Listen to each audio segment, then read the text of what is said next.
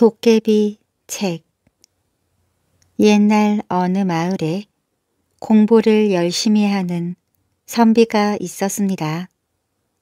그러나 오로지 공부만 했기 때문에 먹고 살기가 어려울 만큼 집이 가난했습니다. 선비는 벼슬 자리를 얻으려고 과거 시험이 열릴 때마다 한양으로 시험을 보러 갔지만 계속 떨어지기만 했습니다. 참으로 이상한 일이었어요. 선비한테 배운 학생들도 시험에 붙는데 할 줄 아는 것이 오로지 공부밖에 없는 선비가 계속 떨어지니 말입니다. 하루는 답답한 마음을 달래려고 동네 뒷산으로 산책을 갔습니다. 선비는 천천히 걸어가면서 이런저런 생각을 했습니다. 왜 나는 자꾸 시험에 떨어지는 걸까? 그만큼 학문적 수양이 부족하단 말인가? 선비는 좀 더 열심히 공부해서 시험을 한 번 더 보기로 마음먹었습니다. 어느덧 해가 서산으로 지고 주위가 컴컴해지기 시작했습니다. 선비는 빨리 집으로 돌아가려고 걸음을 재촉했습니다.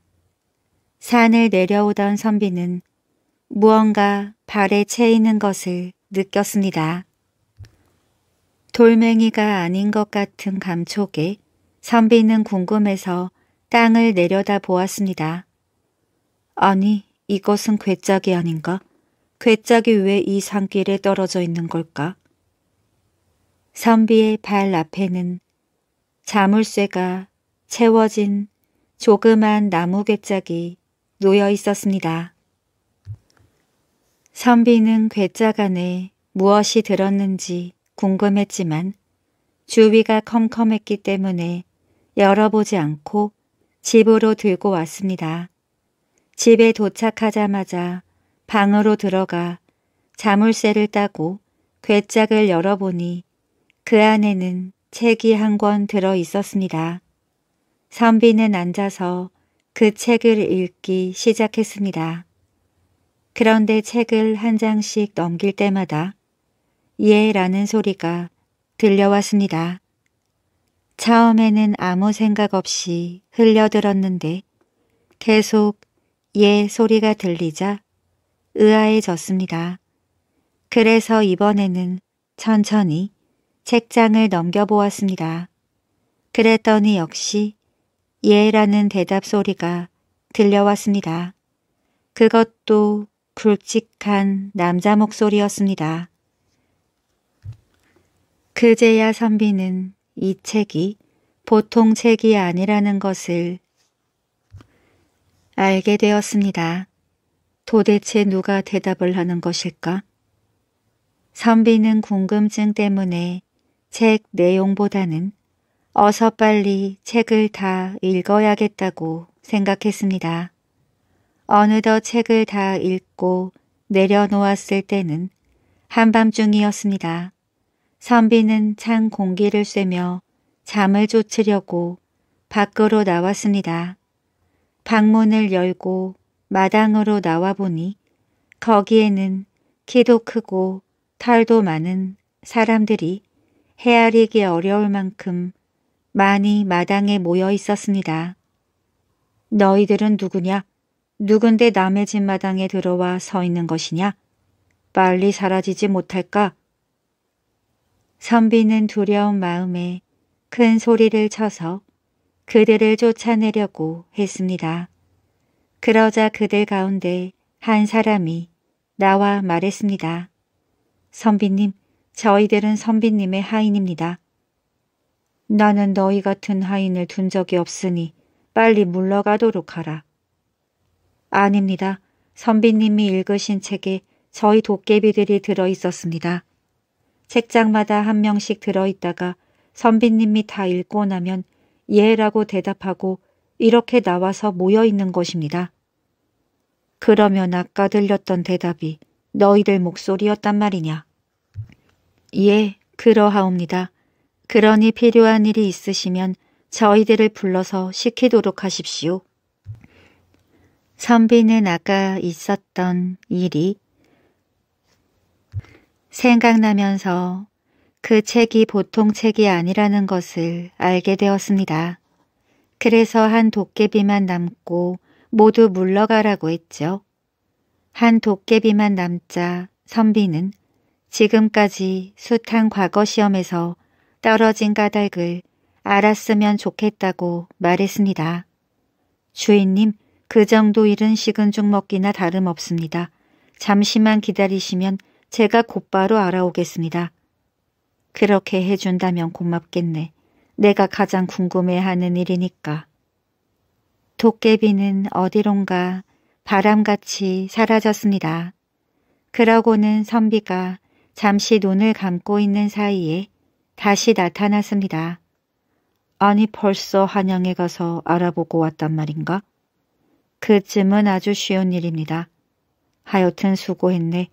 그래 알아보았는가? 예, 제가 한양에 가서 알아보았더니 과거 시험을 볼 때 감독하는 관리들과 시험을 채점하는 관리들이 농간을 부려서 그랬다고 하옵니다. 주인님 시험 성적이 무척 좋아 합격할 수 있었는데 이들 관리에게 돈을 준 사람들을 합격시키느라 탈락시킨 것입니다. 잘 알았으니 그만 가서 쉬도록 하게. 예. 선비는 그제야 과거 시험에 번번이 떨어진 까닭을 알게 되었습니다.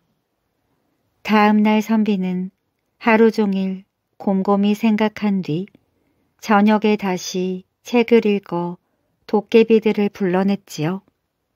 부르셨습니까, 주인님? 다름이 아니라 어제 일 때문에 불렀네. 말씀만 하십시오.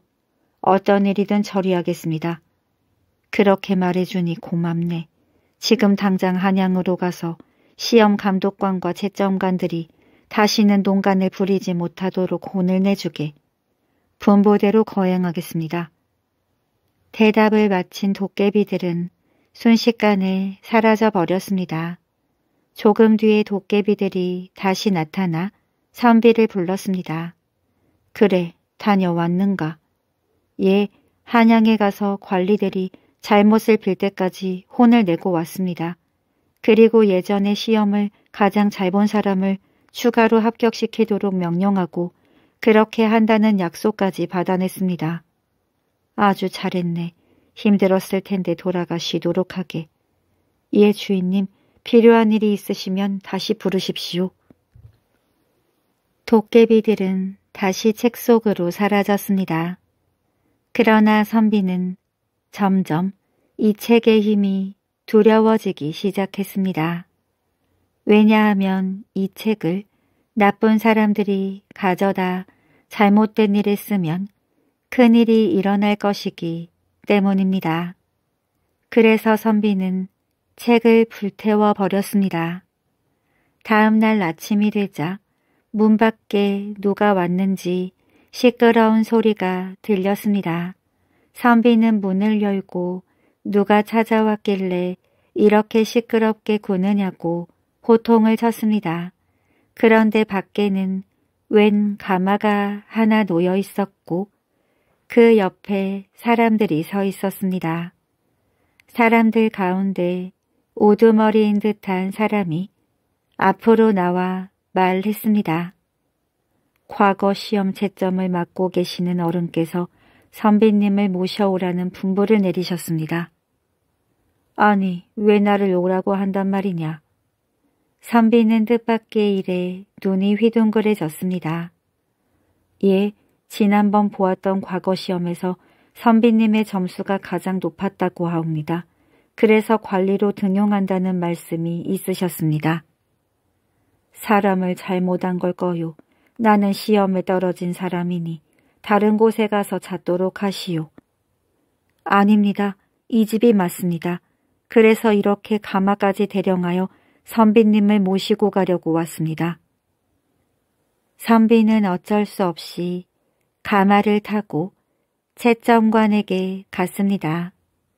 채점관의 얼굴은 온통 상처 투성이었어요. 관리는 선비의 손을 잡고 빌기 시작했습니다. 제발 저를 살려주십시오. 제가 잘못해서 합격한 당신을 떨어뜨렸습니다. 아닙니다. 저 말고도 유능한 인재가 많지 않습니까? 선비는 말했습니다. 그러자 관리는 뜻을 물리치지 마십시오. 그래야 제가 살 수 있습니다. 하며 계속해서 잘못을 빌었지요. 결국 선비는 벼슬길에 올라 잘 살게 되었다고 합니다. 선비는 높은 벼슬에 있다고 해서 남을 없인 여기지도 않았고 학문도 계속 갈고 닦아 후에 훌륭한 인물이 되었다고 합니다. 정승이 된 아이 옛날 경상도 어느 마을에 공부를 열심히 하던 남자아이가 있었습니다. 사는 것이 궁핍했지만 책 읽기를 매우 좋아해 서당에서 거의 붙어 살다시피 했습니다. 또한 서당을 찾아오는 여러 어른들의 흥미진진한 이야기를 듣는 것이 아이의 커다란 즐거움이었습니다. 하루는 여느 때와 같이 서당에서 공부를 하고 있는데 유명한 직관이 훈장 선생님을 찾아왔습니다. 직관이란 풍수 지리설에 따라 집터나 맷자리 따위를 가려잡는 사람을 말합니다. 풍수 지리설에 따르면 훌륭한 자리를 명당이라고 하는데 자리가 좋을 경우 집안이 크게 일어나거나 훌륭한 인물이 태어난다고 합니다. 서당에 다니는 학동들은 직관에게 궁금한 것을 물었습니다. 선생님, 명당 자리에 묘를 쓰면 진짜 인물이 나거나 벼슬을 합니까? 물론이지. 좋은 명당 자리라면 큰 인물이 태어나거나 높은 벼슬에 오르기도 하지. 그러면 어떤 자리가 가장 좋은 자리인가요? 두 가지를 모두 얻을 수 있는 자리가 좋은 자리지. 그러나 큰 인물이 되면 벼슬길에 오르게 되고 벼슬길에 오르면 훌륭한 인물이 될 수도 있으니 명당 자리는 굳이 어떤 자리가 좋다고 구별하긴 힘들단다. 그러니까 명당 자리만 잡으면 다 좋게 된다고 할 수 있겠지. 그런 자리가 어디에 있을까요? 좋은 자리야 찾아보면 알 수 있지. 하지만 보통 사람에게는 그 자리가 눈에 잘 띄지 않는 법이란다. 지관은 이렇게 말한 뒤 훈장 선생님과 함께 옆방으로 갔습니다. 그동안 못 만났기 때문에 두 사람은 하고 싶은 말이 너무나 많았습니다. 이런저런 이야기를 나누다 훈장 선생님은 궁금했던 것을 직원에게 물었습니다. 여보게 아까 명당 자리가 있다고 했는데 나한테 가르쳐 줄 수 없겠나? 가르쳐 주는 것은 어렵지 않지. 그럼 얼른 가르쳐 주시게. 친구 좋은 게 뭔가? 여기서 얼마 떨어지지 않은 곳에 산이 하나 있네. 그 산 깊숙이 가면 도깨비들이 밤마다 모여 회의를 하는 으슥한 골짜기가 있는데 보통 사람들이 다닐 수 없을 정도야. 그러나 골짜기 안에 매우 넓은 평지가 있지.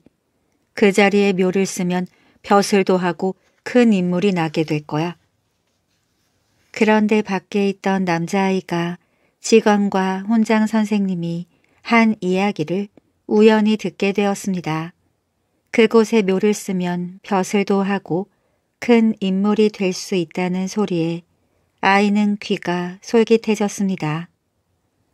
내가 그 자리를 차지하면 어떻게 될까? 나이도 어린데 어떨지 모르겠네. 다음 날 아이는 간단하게 차려입고 깊은 산으로 올라가 도깨비들의 회의 장소를 찾기 시작했습니다. 그러나 몇 달을 헤매도 쉽게 찾을 수 없었습니다. 그날도 아이는 다른 때와 같이 산으로 올라갔습니다. 오늘은 꼭 도깨비 회의 장소를 찾겠다고 결심했지요. 그런데 여기저기 헤매다 그만 날이 어두워졌습니다. 게다가 마을로 내려가는 길까지 잃어버리고 말았습니다. 아이는 늑대들과 부엉이의 울음소리에 겁이 덜컥 났습니다. 짐승들이 자기를 잡아먹지나 않을까 싶었지요. 아이가 이곳저곳을 두리번거리면서 숲속을 헤쳐나가는데 멀리서 불빛이 보였습니다. 아이는 기쁜 마음에 다른 박지를 쳐서 그곳으로 갔습니다. 그러나 사람들이나 집은 찾아볼 수 없었습니다.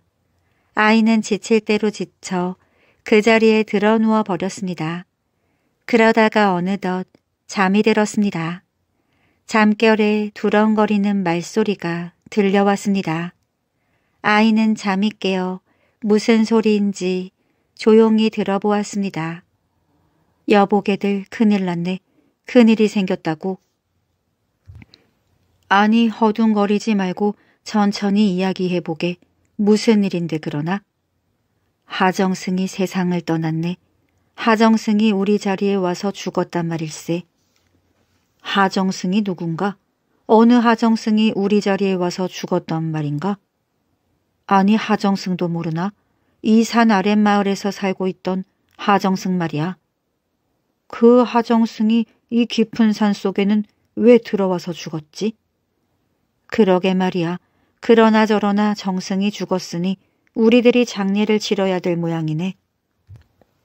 아이가 가만히 들어보니 자기 성이 하시인데 이들이 자기를 두고 말하는 것 같았습니다. 그런데 자기를 정승이라고 부르는 것이 이상했습니다. 그래서 아이는 이들이 사람이 아니라 도깨비임이 분명하다고 생각했지요. 도깨비들은 사람의 앞날을 예견하는 능력이 있다는 소리를 들었기 때문입니다. 그제야 아이는 지관이 말한 명당 자리가 바로 여기라는 것을 깨달았습니다. 도깨비들이 내가 죽은 줄 알고 이러는 것이 아닐까? 아이는 죽지도 않은 자기를 장례 치른다고 하니 겁이 나기도 했지만 도깨비들이 어떻게 행동하는지 지켜보기로 했습니다. 야, 너는 관을 마련해서 가져와라. 그리고 너는 빨리 음식을 장만해 오고. 도깨비들은 아이의 장례를 준비하느라 부산하게 움직였습니다. 조금 뒤 관을 준비하러 갔던 도깨비가 와서 말했습니다. 관을 찾아보니 아무 데에도 없어서 가만히를 갖고 왔습니다. 관이 없다니 큰일이구나. 하지만 급하니 가만히라도 쓸 수밖에. 도깨비들은 아이를 가만히에 둘둘 말아가지고 어디론가 갔습니다. 이곳은 우리들이 회의를 하는 자리지만 하정승이 돌아가셨으니 어쩔 수 없이 맷자리로 써야겠다. 이곳이 가장 중요한 자리인데 맷자리로 쓰면 우리는 어디에서 회의를 합니까? 우리는 장소를 옮기면 되지만 하정승은 앞으로 크게 될 인물인데 죽었으니 이 자리를 맷자리로 쓰는 것이 당연하지 않느냐? 도깨비들은 그 소리에 꼼짝 못하고 땅을 파기 시작했습니다. 땅을 파고 나서 그 자리에 가마니로 싼 아이를 넣고 흙을 덮으려고 할 때였습니다. 이 도깨비들아 내가 살아있는데 어떻게 장사를 치른단 말이냐? 생사람을 묻는 짓보다 더 나쁜 일은 없다. 아이가 벌떡 일어나 큰 소리를 치자 둘러싸고 있던 도깨비들은 깜짝 놀라 모두 뿔뿔이 도망갔습니다. 아이고, 하정승은 죽었다가 다시 살아날 정도로 하늘이 내리신 인물인가 봐. 그러게 말일세, 이분은 보통 사람이 아닌 것 같아. 우리가 잘못한 것은 아닐까? 도깨비들은 죽은 하정승이 다시 살아났다고 믿었습니다. 사실은 아이가 피곤해서 잠이 들었던 것인데 말입니다. 아이는 도깨비들이 자기를 묻으려고 했던 자리에 자기만 알 수 있는 표시를 했습니다. 그리고 날이 새기를 기다렸어요. 날이 환하게 밝아오자 아이는 길을 표시하면서 천천히 집으로 내려왔습니다. 집에 온 아이는 아버지에게 밤새 겪었던 일을 모두 말씀드렸어요. 그리고 할아버지 무덤을 그 자리로 옮기자고 했습니다. 그러나 아버지는 함부로 조상의 무덤을 옮기는 것이 아니라면서 아이의 말을 못 믿는 눈치였습니다. 아이는 계속 아버지를 설득했어요. 아버님, 이 일은 저 혼자 잘 되자고 하는 일이 아니라 우리 집안이 잘 되게 하려는 것이 아닙니까? 기울어가는 우리 집안을 다시 일으켜 세우려면 이 방법밖에 없습니다. 집안을 일으켜 세운다는 아이의 말에 아버지도 어쩔 수 없이 승낙했습니다.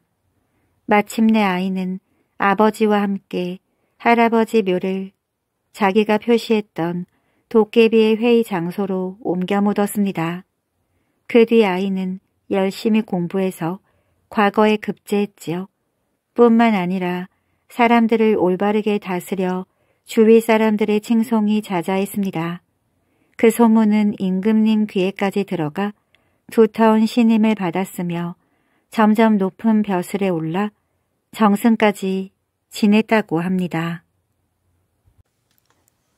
딸을 살려준 아이 옛날 어느 산골 마을에 일찍이 부모를 여의어 고아가 된 남자아이가 살고 있었습니다. 이 아이에게는 먼 친척벌 되는 아저씨 한 분이 있었는데 집안 형편이 어려워 같이 살 수가 없었습니다. 그래서 아이는 남의 집 일을 도운 뒤 밥을 얻어먹고 밤이 되면 자식이 없는 노인들이 모여 사는 집에 가서 노인들 틈에 끼어 잠을 자곤 했습니다. 하루는 저녁 때가 되었는데 길을 가던 나그네가 하룻밤 재워줄 것을 정했습니다. 노인들은 쾌히 승낙했습니다. 그런데 나그네가 방 안에 들어와 가만히 보니까 노인들이 남자아이를 어찌나 구박하고 못살게 구는지 불쌍해서 볼 수 없을 지경이었습니다.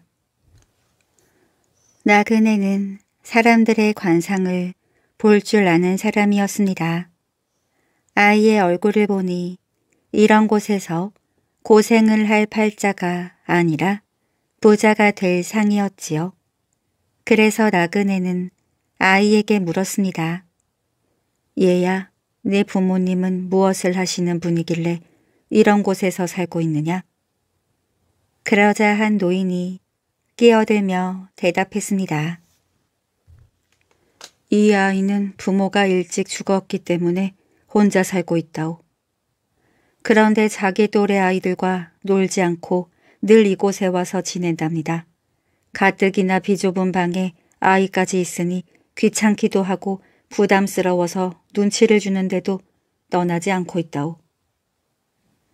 얼굴을 보니 이런 곳에서 살 아이 같지가 않습니다. 저에게 좋은 방도가 하나 있는데 가르쳐줘도 괜찮겠습니까? 좋은 수가 있다니 빨리 말해보시오. 나그네는 아이를 바라보며 물었습니다. 내가 지금까지 남의 일을 도와주면서 받은 돈을 모은 것이 있느냐? 하지만 아이는 돈을 받지 못해 모은 것이 없었습니다. 그러자 나그네는 아이에게 친척 아저씨를 불러오라고 했어요. 아이가 친척 아저씨를 데려오자 나그네가 진지하게 말했습니다. 이 아이는 이렇게 살고 있을 상이 아닙니다. 저에게 좋은 방도가 있는데 따라해 보시겠습니까? 어떻게 하면 이 아이가 잘 될 수 있는지 제발 가르쳐 주십시오. 아저씨의 말을 들은 나그네는 모아놓은 쌀이 있는지 물었습니다.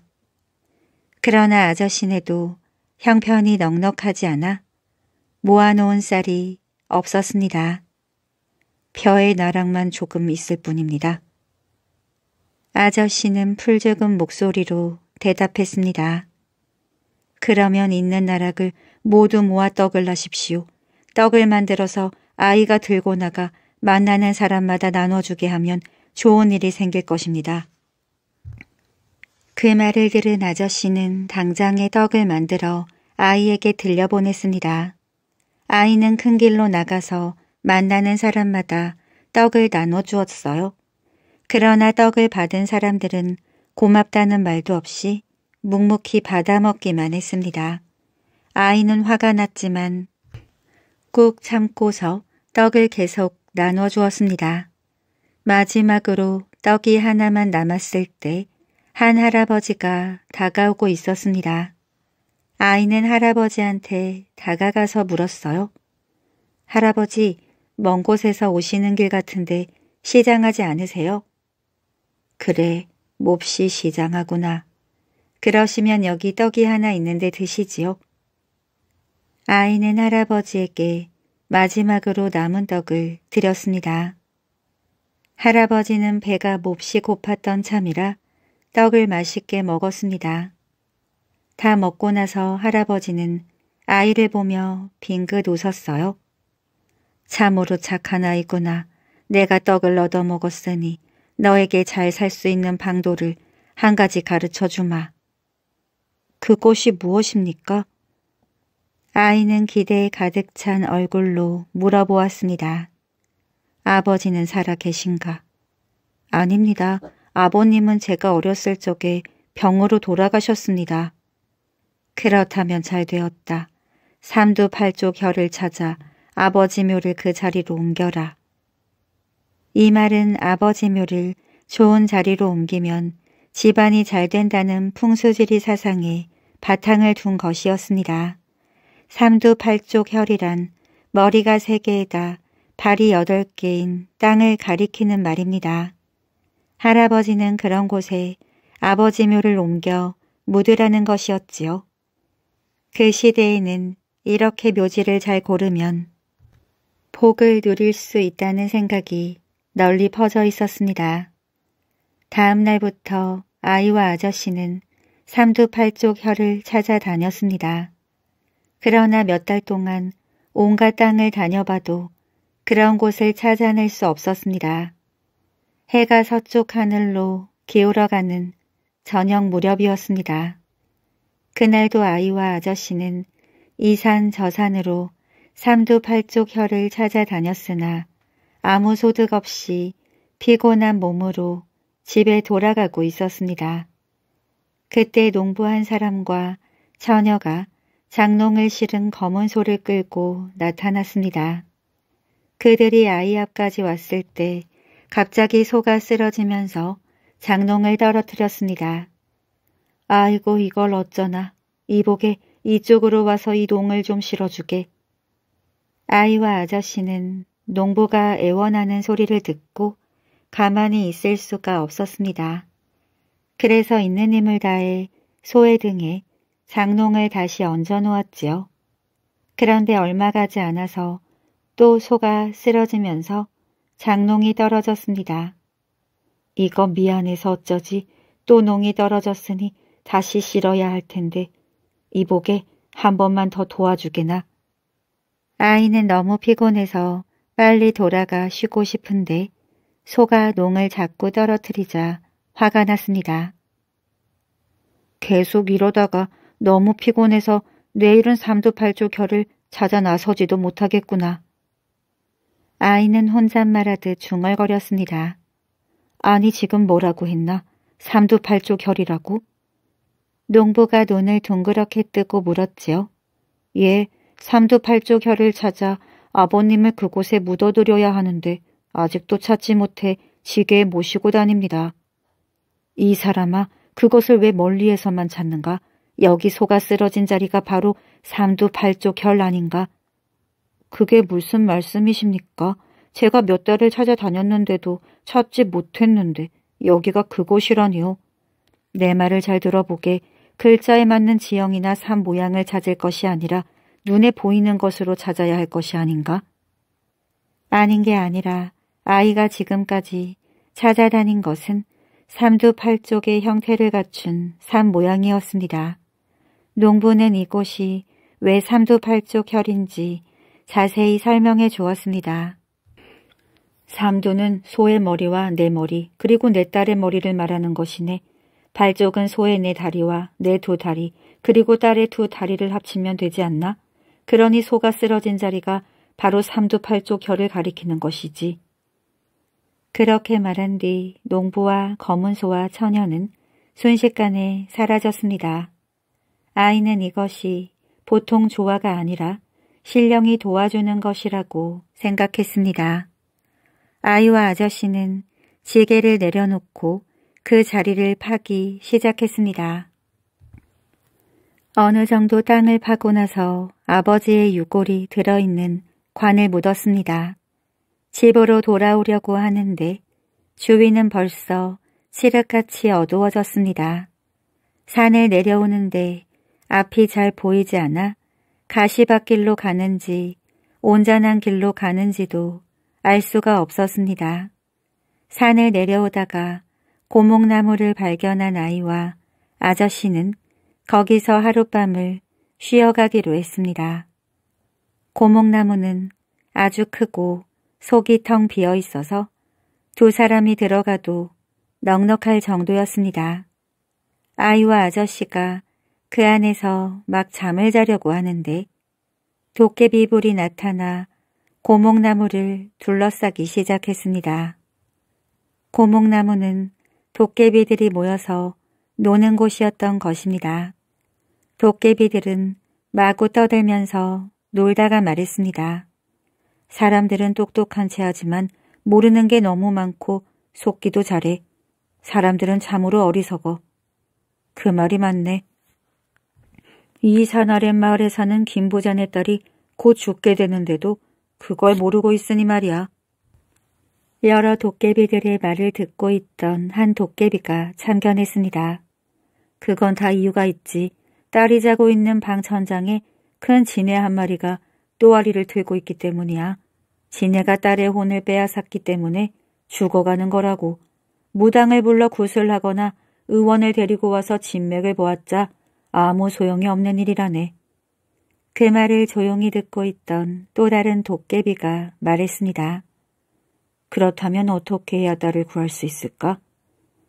먼저 사람들이 먹는 기름 한 말, 그 기름을 끓일 가마솥, 사다리 한 개, 불 집게가 세 개 있어야 하네. 그것을 가지고 어떻게 지네를 없애? 어려운 일이 아니야. 먼저 마당에다가 기름을 담은 가마솥을 불 위에 올려놓고 끓여야 하네. 그런 다음 담력이 센 사람이 지붕에 사다리를 놓고 올라가서 저마 끝에서 일곱 번째 기와를 살짝 드러낸 뒤 쥐네를 찾아내야지.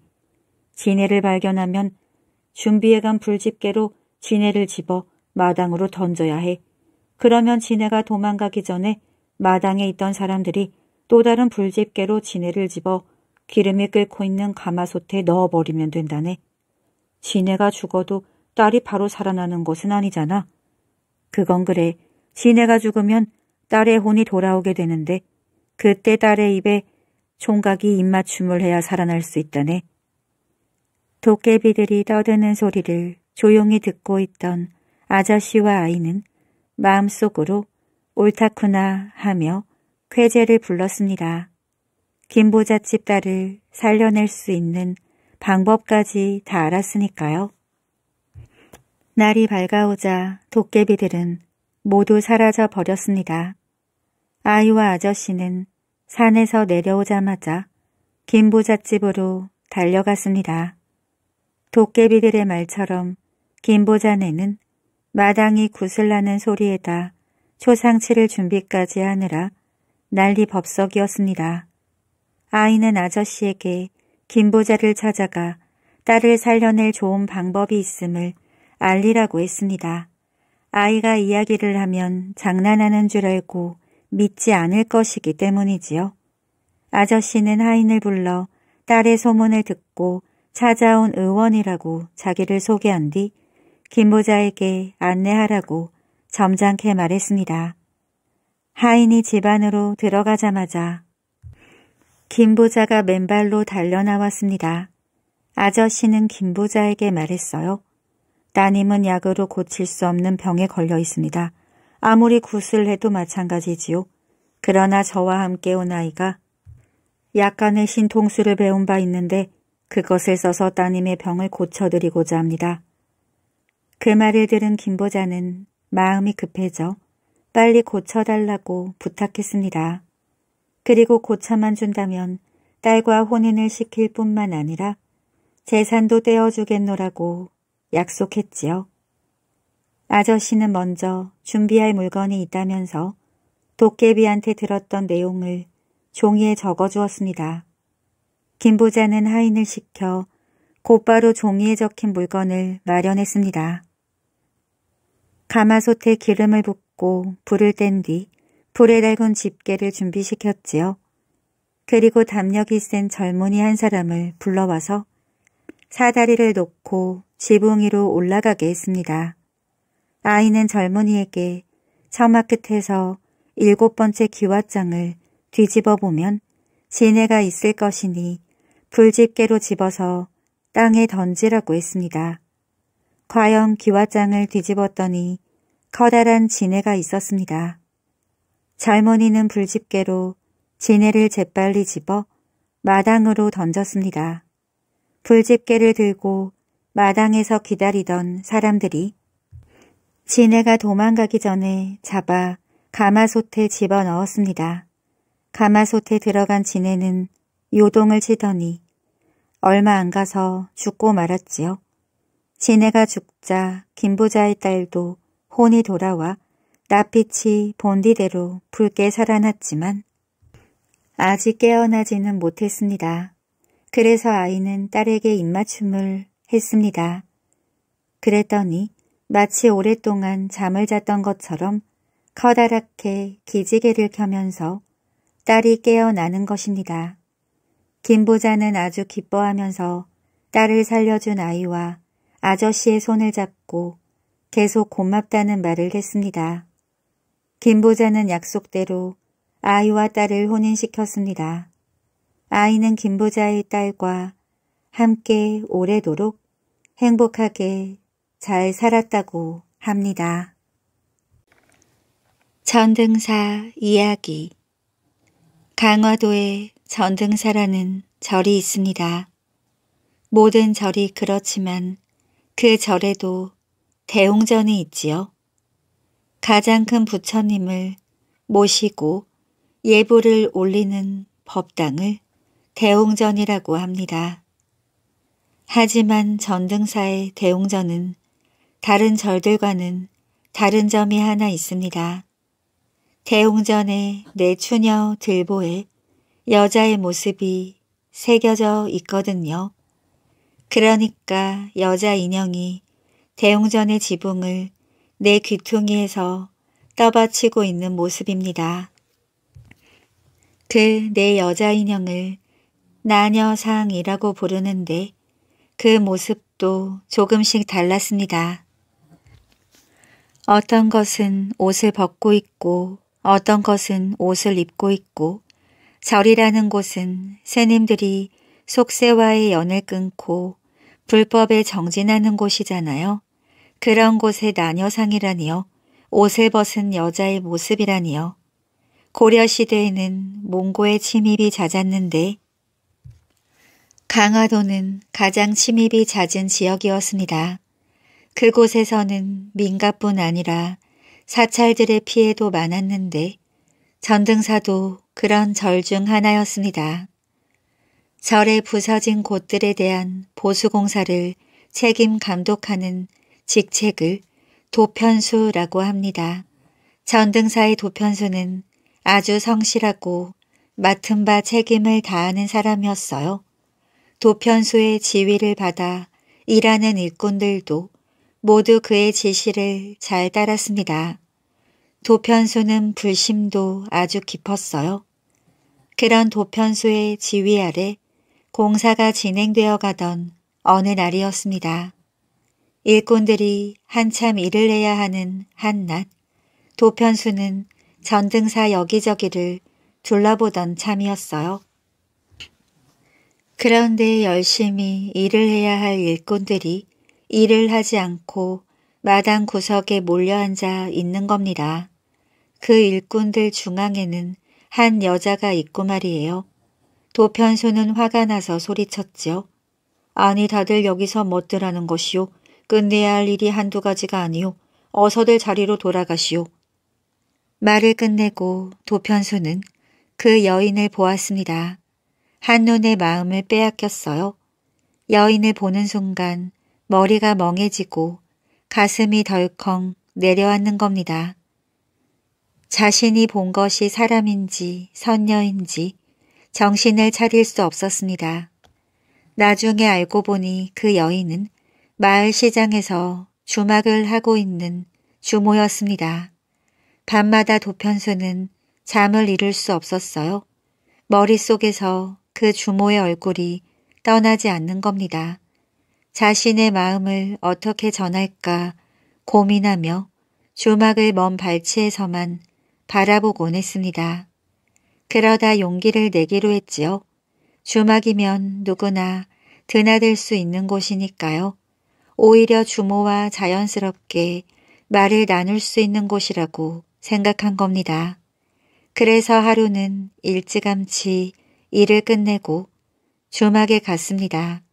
음식을 내어오는 주모의 모습은 역시나 아름다웠어요.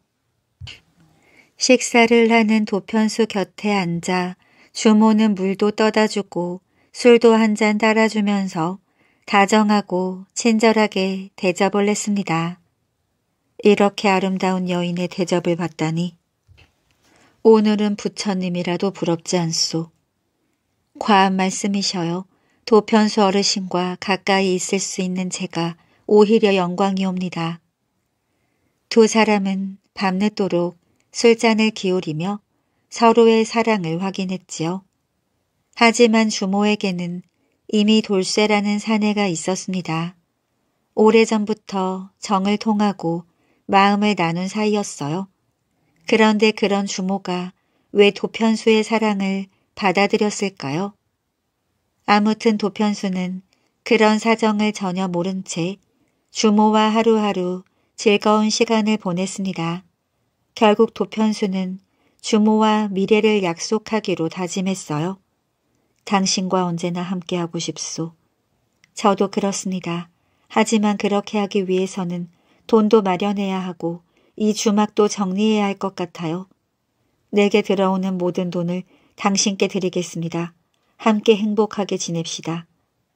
이후로 도편수는 자신의 모든 재산을 주모에게 가져다 주었습니다. 아름답고 착한 주모와 보낼 앞날을 떠올리면서 도편수는 그저 행복하기만 했어요. 그러던 어느 날 도편수는 일하는 도중 깜빡 잠이 들었습니다. 하늘이 검게 변하면서 무시무시한 악귀나 나타나 주모를 삼켜버리는 무서운 꿈을 꾼 거예요. 화들짝 놀라며 도편수는 잠에서 깼습니다. 무슨 꿈이 이럴까? 혹시 주모에게 나쁜 일이라도 생긴 걸까? 이런 걱정, 저런 걱정을 하는 도편수가 전등사의 공사에 전념할 수 있었을까요? 없었겠지요. 그래서 주변 사람들조차 이런 말을 수근거리곤 했습니다. 아니 그렇게 열심히 일하던 도편수가 정신이 완전히 나갔구나. 불심을 다해야 하는 공사임에도 저렇게 딴 생각만 하고 있으니. 도편수는 이상한 꿈 때문에 더욱 일찌감치 일을 마치고 주막으로 갔습니다. 그런데 어떤 남자와 주모가 마주 앉아 무슨 얘기를 수근거리는 모습을 보았어요. 돌쇠와 주모는 도편수를 보고는 깜짝 놀랐지요. 돌쇠는 재빠르게 주막을 나갔고 주모는 아무 일도 없다는 듯이 도편수를 맞이했습니다. 무슨 일이셔요? 이렇게 일찍 찾아오시다니요. 무슨 일은 당신이 보고 싶어 이렇게 달려왔소. 당신께 줄 선물도 있다오. 도편수는 이미 자신의 전 재산을 주모에게 준 상태였거든요. 마지막으로 가지고 있던 은반지를 주모에게 건넸습니다. 도편수는 그저 행복하기만 했어요. 다음 날도 평소처럼 도편수는 일찌감치 일을 마치고 주막으로 갔습니다. 그런데 주모가 보이지 않는 거예요. 주모의 짐도 깨끗이 치워져 있었습니다. 방바닥에는 은반지 하나만 놓여 있었지요. 어찌된 일일까? 무슨 사정이 있는 것이겠지. 곧 돌아올 거야. 도편수는 기다렸습니다. 주모에 대한 사랑은 변함이 없었거든요. 하지만 하루가 지나고 또 하루가 지나도 주모는 돌아오지 않는 겁니다. 도편수의 얼굴은 갈수록 수척해졌어요. 도편수는 주모를 생각하며 나무를 깎아 무언가를 만들었습니다. 세월이 흘러 전등사는 이제 막바지 공사에 이르렀어요. 여전히 도편수는 자신의 일에만 집중했지요. 칼로 나무를 깎아 무언가를 만들면서 말입니다. 사람들은 수근거렸어요. 저게 뭐지? 원숭이야 사람이야? 그러게 저런 걸 왜 만드는 거지?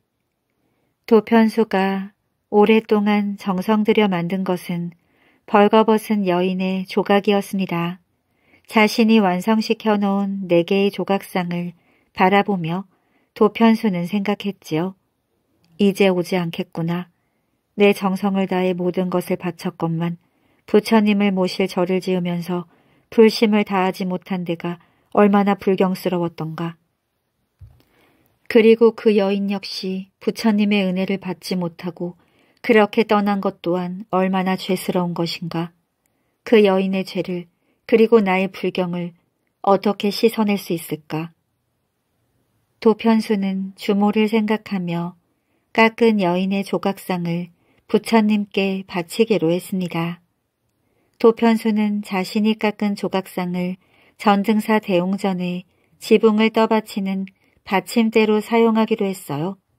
그러니까 대웅전 내 귀퉁이에 여인의 조각상을 놓고 그 위에 지붕을 얹기로 한 겁니다. 그렇게 하는 길만이 자신의 불경과 여인의 죄를 용서받을 수 있는 방법이라고 생각했습니다. 그 여인은 이제 부처님을 떠받치며 평생을 살아야 하는 겁니다. 물론 그 조각상이 그 여인은 아니지만 이미 그 여인의 영혼은 그 조각상에 들어가 있는 셈인 거지요. 그 무거운 지붕을 바치고 계속 있어야 하니까 그건 일종의 벌도 되는 셈입니다. 부처님이 계실 법당을 짓는 도편수에게 상처를 남기고 그로 인해 법당을 짓는 것에 불경이 깃들고 그러니 그 여인은 그러니까 그 조각상은 부처님께 용서를 구하며 평생 지내야 하는 겁니다. 그런데 특이한 것은 그 조각상의 표정이 고통스럽거나 힘들어하지 않는다는 겁니다. 그 주모가 한 짓이 얼마나 나쁜가요?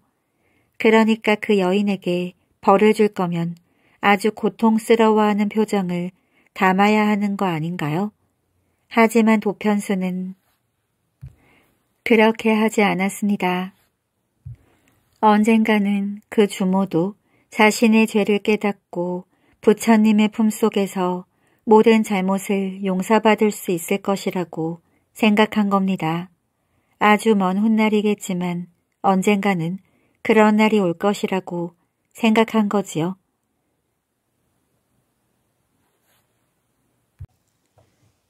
남매의 불탑 옛날 옛적 한 마을에 두 남매가 살았습니다. 남매는 싸우지도 않고 오순도순 사이좋게 잘 지냈지요. 아주 우애가 깊었습니다. 해가 저물고 잠을 자기 위해 나란히 누운 남매는 이런저런 얘기를 했지요. 누나, 아버지의 병환이 빨리 나았으면 좋겠어. 그때 남매의 아버지는 병이 들어 있었거든요. 아버지가 아파하는 모습을 남매는 매일 받습니다. 우리가 열심히 기도하면 부처님께서 도와주실 거야. 그럴까? 정말 열심히 기도하면 도와주실까? 그럴 거야. 우리 지금보다 더 열심히 기도하자. 동생은 그때 좋은 생각이 떠올랐어요.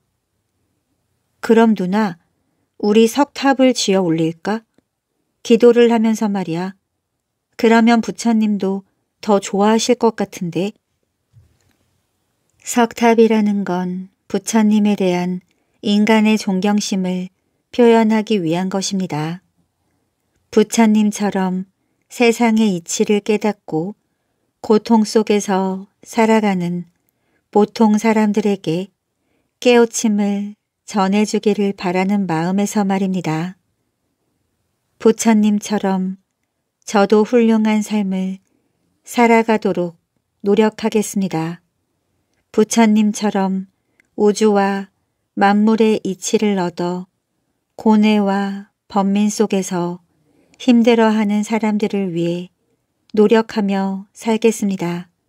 등등 그런 다짐이 석탑에 들어가 있는 거지요. 석탑의 주변을 돌며 자신의 그런 다짐을 다시 한번 새겨보기도 합니다. 그래, 정말 좋은 생각이야. 하지만 우리는 집안에 해야 할 일이 많잖아.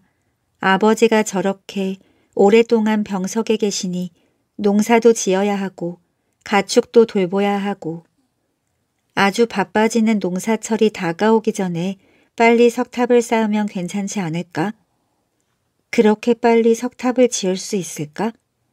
누나, 우리는 할 수 있을 거야. 결국 남매는 석탑을 짓기로 했습니다. 석탑을 지어 부처님이 아버지의 병환을 낫게 해준다면 더 이상 바랄 것이 없었거든요. 남매가 나누는 얘기를 어머니는 말없이 듣고 있었습니다. 남매의 효성이 너무 갸륵해 저절로 눈물이 흘러내렸지요. 아버지가 전혀 일을 할 수 없는 상황에서 정말 많은 일을 남매는 해왔습니다. 남매의 어린 나이에 비한다면 너무나 힘들고 벅찬 일이었어요. 형편이 넉넉지 못해 먹을 것도 제대로 먹지 못하고 옷도 제대로 입지 못하면서 병들어 있는 아버지를 저렇게 생각하다니 어머니는 말없이 눈물만 흘렸습니다. 저 어린 것들의 지극한 마음이란 비록 남편은 병들어 있고 하루하루 살아나가기 힘은 들지만 그래도 나에겐 이런 자식이 있구나. 그래 힘을 내야지. 어머니는 마음을 굳게 다졌습니다. 자신마저 병이 들거나 일을 할 수 없다면 정말 큰일이었거든요. 내일부터는 더욱 열심히 일을 해야겠다고 생각했습니다. 그런데 갑자기 걱정이 하나 생겼어요. 남매 중 남동생인 오성의 몸도 그리 건강한 편은 아니었거든요. 어머니로서 걱정이 되지 않을 수 없었지요. 그나저나 오성이가 어떻게 석탑을 쌓을 수 있을까? 그 허약한 몸으로는 어려운 일일 텐데 어떻게 하지? 그만두라고 말려야 하는 건가? 하고 어머니는 오성의 건강을 걱정했습니다. 다행히 누나의 몸은 아주 건강한 편이고 그리 적은 나이도 아니어서 큰 걱정은 아니었거든요. 그래서 어머니는 아들에게 얘기했습니다. 너희들의 갸륵한 마음은 잘 알고 있어. 부처님도 너희들의 효성을 이미 알고 계실 거야. 그러니 석탑을 짓는 것은 그만두는 게 어떠니? 하지만 오성은 자신의 결심을 굽히지 않았습니다. 아니에요, 어머니. 제가 비록 몸은 건강하지 않지만 석탑을 지어 아버지의 병환만 낫는다면 제겐 더 이상 바랄 것이 없어요. 너무 걱정하지 마세요. 제 건강까지도 부처님은 돌보아 주실 거예요. 오성의 결심은 분명했습니다. 그래서 결국 남매는 석탑을 짓기 시작했어요. 누나는 죽장리에서 동생은 낙산리에서 그렇게 떨어져 석탑을 짓는 건 조금이라도 자신들의 마음을 간절하게 부처님께 전하고 싶다는 생각에서였습니다. 남매는 아침 일찍 일어나 농사일을 하고 집안을 돌보았습니다. 그리고 누나는 죽장리로 동생은 낙산리로 가서 자신들의 석탑을 쌓는 거였지요. 어머니 역시 남매의 건강이 걱정스러웠습니다. 나이도 어리고 건강도 좋지 못한 아들이 더 걱정스러웠어요. 석탑이 절반 정도 완성되어 가던 어느 날이었습니다. 어머니는 남매에게 간식을 가져다 주기로 했습니다. 하지만 집안에 있는 음식으로는 두 사람의 간식을 만들 수 있을 만큼 많지가 않았어요. 간신히 한 사람만 먹을 수 있을 정도였지요. 어머니는 고민했습니다. 어떻게 하지? 이렇게 조금밖에 안 되는 음식으로는 한 사람도 제대로 먹지 못할 텐데 누구를 가져다 주어야 하지? 어머니의 고민은 더욱 커져갔습니다. 그러다가 동생인 오성에게 가져다 주기로 했지요. 누나에게는 그런 말을 참아 할수 없었습니다. 누나도 힘든 일을 하고 있고 밥도 제대로 먹지 못하고 있는데 동생 혼자만 먹는다고 하면 얼마나 서운하겠어요? 어머니는 음식을 만들어 몰래 동생에게 가져갔습니다. 어머니, 저 혼자만 먹는 건 아니겠지요? 그럼 누나에게는 이미 음식을 가져다 주었단다. 어머니는 거짓말을 할 수밖에 없었어요. 오성은 어머니의 말을 전혀 의심하지 않고 오랜만에 만난 음식을 즐겁게 먹었습니다. 그런데 이 모습을 지켜보고 있는 사람이 있었습니다. 누나였어요. 누나는 동생의 건강이 너무 걱정스러워서 자신이 하던 일을 멈추고 동생이 석탑을 짓고 있는 낙산리에 한번 와본 겁니다. 어떻게 석탑을 짓고 있는가 하는 것도 궁금했고 말이에요. 그런데 자신만 빼놓고 어머니와 동생이 만난 음식을 먹고 있는 겁니다. 그 모습을 보자 누나는 눈물이 왈칵 쏟아졌어요. 너무나 서운했고 어머니가 야속했지요. 하지만 어머니와 동생이 즐겁게 음식을 먹고 있는 모습을 보고 있자니 점점 마음이 풀리는 겁니다. 자신이 먹을 음식까지 어머니와 동생이 먹는다면 그것도 좋은 일이라고 생각했어요. 그래, 나는 저런 음식을 먹지 않아도 건강하잖아. 허약한 동생이 먹는다면 건강에 도움이 될 테니 그것도 좋은 일이지. 누나는 그 길로 자신의 석탑이 있는 죽장리로 돌아갔습니다. 그리고는 석탑을 계속해서 지어나갔지요. 얼마 후 남매의 석탑은 완성되었어요. 하나는 3층 석탑이고 다른 하나는 5층 석탑입니다. 누나는 자신이 쌓던 석탑을 2층 더 올린 거였어요. 누가 얼마나 높은 석탑을 짓는가 그런 건 전혀 중요한 게 아닙니다.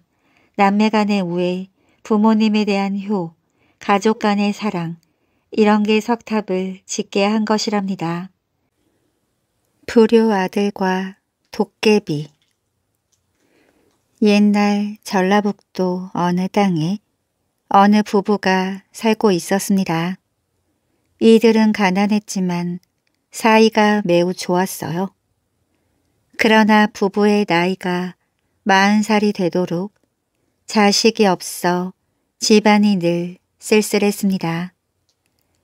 그래서 부인은 밤마다 하늘을 향해 자식을 하나만 낳게 해달라고 빌었습니다. 100일 동안 기도를 드린 덕분인지 열 달이 지나서 사내 아이가 태어났습니다. 늦게 본 자식이라 부부가 아기에게 쏟는 정성은 말로 다 할 수 없을 정도였지요. 아들이 어렸을 때 일입니다. 아이가 너무 귀여워서 부부는 저녁마다 장난을 하느라 서로를 번갈아 때리라고 시켰습니다. 얘야 아버지 한 대 때리고 와라. 어머니가 말하면 아이는 장난으로 아버지에게 가서 머리를 딱 때리고 돌아왔습니다. 그러면 아버지도 아들을 불러 말했습니다. 얘야, 어머니 한 대 때리고 와봐라. 이 말을 들은 아들은 이번에는 어머니한테 쪼르르 달려가 한 대 똑 때리고 왔습니다. 아들이 귀여우니까 부모가 장난으로 시킨 것이지만 이것이 그만 버릇이 되어버렸습니다. 그래서 아들은 나이를 먹고도 아침 저녁으로 인사를 하는 대신 부모를 때리는 것을 당연하게 생각했습니다. 아들이 어렸을 때에는 그냥 장난으로 받아주었으나 나이를 먹어 아들의 덩치가 커지자 맞는 것이 무척 아팠습니다. 그러다가 아버지가 돌아가시고 어머니는 어려운 살림을 꾸려가면서 자식을 홀로 키웠습니다. 아들이 자라서 장가를 들자 어머니는 아들의 살림을 따로 내주어 살게 했습니다. 이제 따로 살게 되면 아침 저녁으로 때리는 버릇이 고쳐질 것으로 생각한 것이지요. 그러나 장가든 다음 날 아침에도 아들은 늙은 어머니를 때리는 일을 그만두지 않았습니다. 아들은 아침 일찍 일어나 어머니가 살고 있는 집으로 가서 잠자고 있는 어머니를 때려서 깨웠습니다. 어려서부터 굳어진 버릇이라서 아들은 자신이 잘못을 저지르고 있다는 것을 모르고 아침 인사 드리는 것쯤으로 여긴 것이지요. 어머니는 이제 늙어서 아들이 때리면 온몸이 옥신거리고 멍까지 들었습니다. 몹시도 추운 겨울 어느 날이었습니다. 집안 할아버지 제사가 있어 어머니와 아내가 친척집에 가고 아들 혼자서 집을 지키고 있었습니다. 아들은 방 안에서 이불을 덮고 누워 있었어요. 한밤중이 되었을 때 벼랑간 방문이 활짝 열렸습니다. 아들이 깜짝 놀라 몸을 일으켜 보니 얼굴과 손, 온몸이 털로 뒤덮인 덩치 큰 사람이 들어오고 있었습니다. 아들은 겁이 나서 이불을 덮고 덜덜 떨고만 있었지요. 이놈, 너는 죽어야 한다. 방 안으로 들어온 사람은 다짜고짜 아들의 멱살을 잡고 죽일 듯이 큰 소리를 쳤습니다. 나는 이 마을 뒷산에 살고 있는 도깨비다. 너같이 불효를 하는 놈은 처음 보았다. 그러니 너를 죽여서 어머니가 편하게 사시도록 해야겠다. 아이고 어르신 제발 살려주십시오. 너같이 불효막심한 놈을 어떻게 살려줄 수 있겠느냐? 아침 저녁으로 늙으신 어머니를 때리는 자식이 이 세상에 어디 있느냐? 아니 제가 어머니를 때리는 것이 어찌 불효란 말입니까? 늙으신 어머니 몸을 보았느냐? 온통 멍이 들어 있는데 그것이 그럼 효자가 한 행동이란 말이냐? 도깨비가 큰 손으로 아들을 눌러 죽이려 하자 아들은 싹싹 빌었습니다. 어르신, 제발 살려주십시오. 저는 일부러 어머니를 때린 것이 아닙니다. 뭐라고? 일부러 때린 것이 아니라고? 그러면 왜 때렸느냐? 어릴 적부터 인사하는 대신 아버지와 어머니를 때렸습니다. 그것은 인사를 하는 것이지 절대로 나쁜 마음을 먹고 때리는 것이 아닙니다. 내 말처럼 생각할 사람은 이 세상 어디에도 없다. 그것은 핑계다 이놈아. 그렇다면 다음부터는 어머니를 절대 때리지 않겠습니다. 제발 목숨만 살려주십시오. 지금 내가 한 말이 정령 진심이렸다. 예, 내일부터는 절대로 어머니를 때리지 않고 인사를 하겠습니다. 정말입니다. 덩치 큰 도깨비는 아들의 약속을 듣고서야 좀 누그러진 목소리로 말했습니다.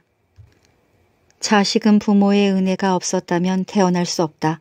그렇다면 부모에게 효도를 하는 것이 당연한 일인데도 오히려 아침 저녁으로 어머니를 때리니 그것이 사람으로서 할 짓이냐? 예, 오르신 말씀입니다. 내일부터는 날이 추우면 방에 불을 지펴 따뜻하게 해드리고 잡수시고 싶은 음식이 있으면 정성껏 마련해드려야 한다. 알겠지? 예, 어머님이 원하시는 일이라면 무슨 일이든지 다 해드리겠습니다. 지금 내가 한 말에 조금도 거짓이 없으렸다. 만약 내가 약속을 어긴다면 내게 큰 벌을 받을 것이다. 알겠느냐? 예, 알겠습니다. 아들의 대답을 들은 도깨비는 바람같이 사라져 버렸습니다. 한바탕 난리를 치르고 난 아들은 잠을 잘 수가 없었습니다. 밤새도록 뜬 눈으로 있다가 새벽이 되자 어머니가 오시는 길을 따라 마중을 나갔습니다. 밖에는 눈이 내려 온통 하얗게 변해 있었습니다. 그래서 먼저 어머니가 오실 길을 따라 눈을 쓸면서 갔습니다. 한참 동안 눈을 쓸며 가다 보니 어머니가 오시는 것이 보였습니다. 아들은 반가운 마음에 빨리 눈을 쓸면서 어머니한테 다가갔지요. 그런데 어머니는 아들이 빗자루를 들고 자기한테 다가오는 것을 보고는 더러 겁이 났습니다. 친척집에서 하룻밤을 새고 늦게 왔다고 때리려는 줄 알았기 때문입니다. 아들이 가까이 다가오는 것을 본 어머니와 며느리는 겁을 먹고 그 자리에 가만히 서 있었습니다. 그런데 아들이 어머니에게 등을 갖다 대는 것입니다. 어피라고 말이지요. 어머니 오시느라 고생이 많으셨지요. 이제부터는 제가 업어서 모시고 가겠습니다. 그러나 어머니는 어리둥절한 얼굴이었습니다. 자기가 늦게 와서 뭐라고 하는 것 같았기 때문입니다. 얘야, 내가 잘못했다. 친척들이 오랜만에 만났다고 좀처럼 놓아주질 않더구나. 그래서 늦었으니 용서해라. 아닙니다. 제가 어머님을 용서할 것이 뭐가 있겠습니까? 오히려 제가 용서를 빌어야지요. 자, 제 등에 업히세요. 얘야, 나를 때리고 싶으면 이 자리에서 때리도록 해라. 무엇 때문에 집에까지 업고 가서 때리려고 하니? 아들은 어머니가 계속 사양하자 부인한테 어머니를 안아서 자기 등에 업히도록 했습니다. 아들이 이렇게 재촉하는 것을 처음 본 어머니는 마음속으로 이제는 죽었구나 하고 생각했어요. 남들이 보기 전에 집으로 빨리 가서 때리려 한다고 생각했기 때문입니다. 억지로 아들 등에 업힌 어머니는 불안한 마음으로 집에 도착했습니다. 아들네 집에 조금만 있다가 자기 집으로 가려고 했는데 아들은 어머니를 옆방에 모셔놓고 밖으로 나갔습니다. 그리고 조금 있으니 방 안이 아주 따스해졌습니다. 아들이 어머니를 위해 아궁이에 불까지 뗀 것이지요. 그것만이 아닙니다. 아들이 방으로 들어오더니 이불을 깔고 힘드실 텐데 누우시라고 말하는 것이었습니다.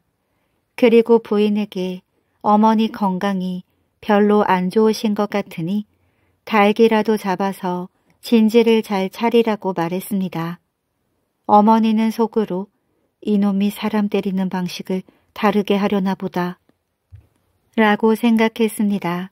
처음에 오해를 냈던 어머니도 차츰 아들의 행동이 전과 다르게 변했음을 알고 아들 집에서 살기로 했습니다.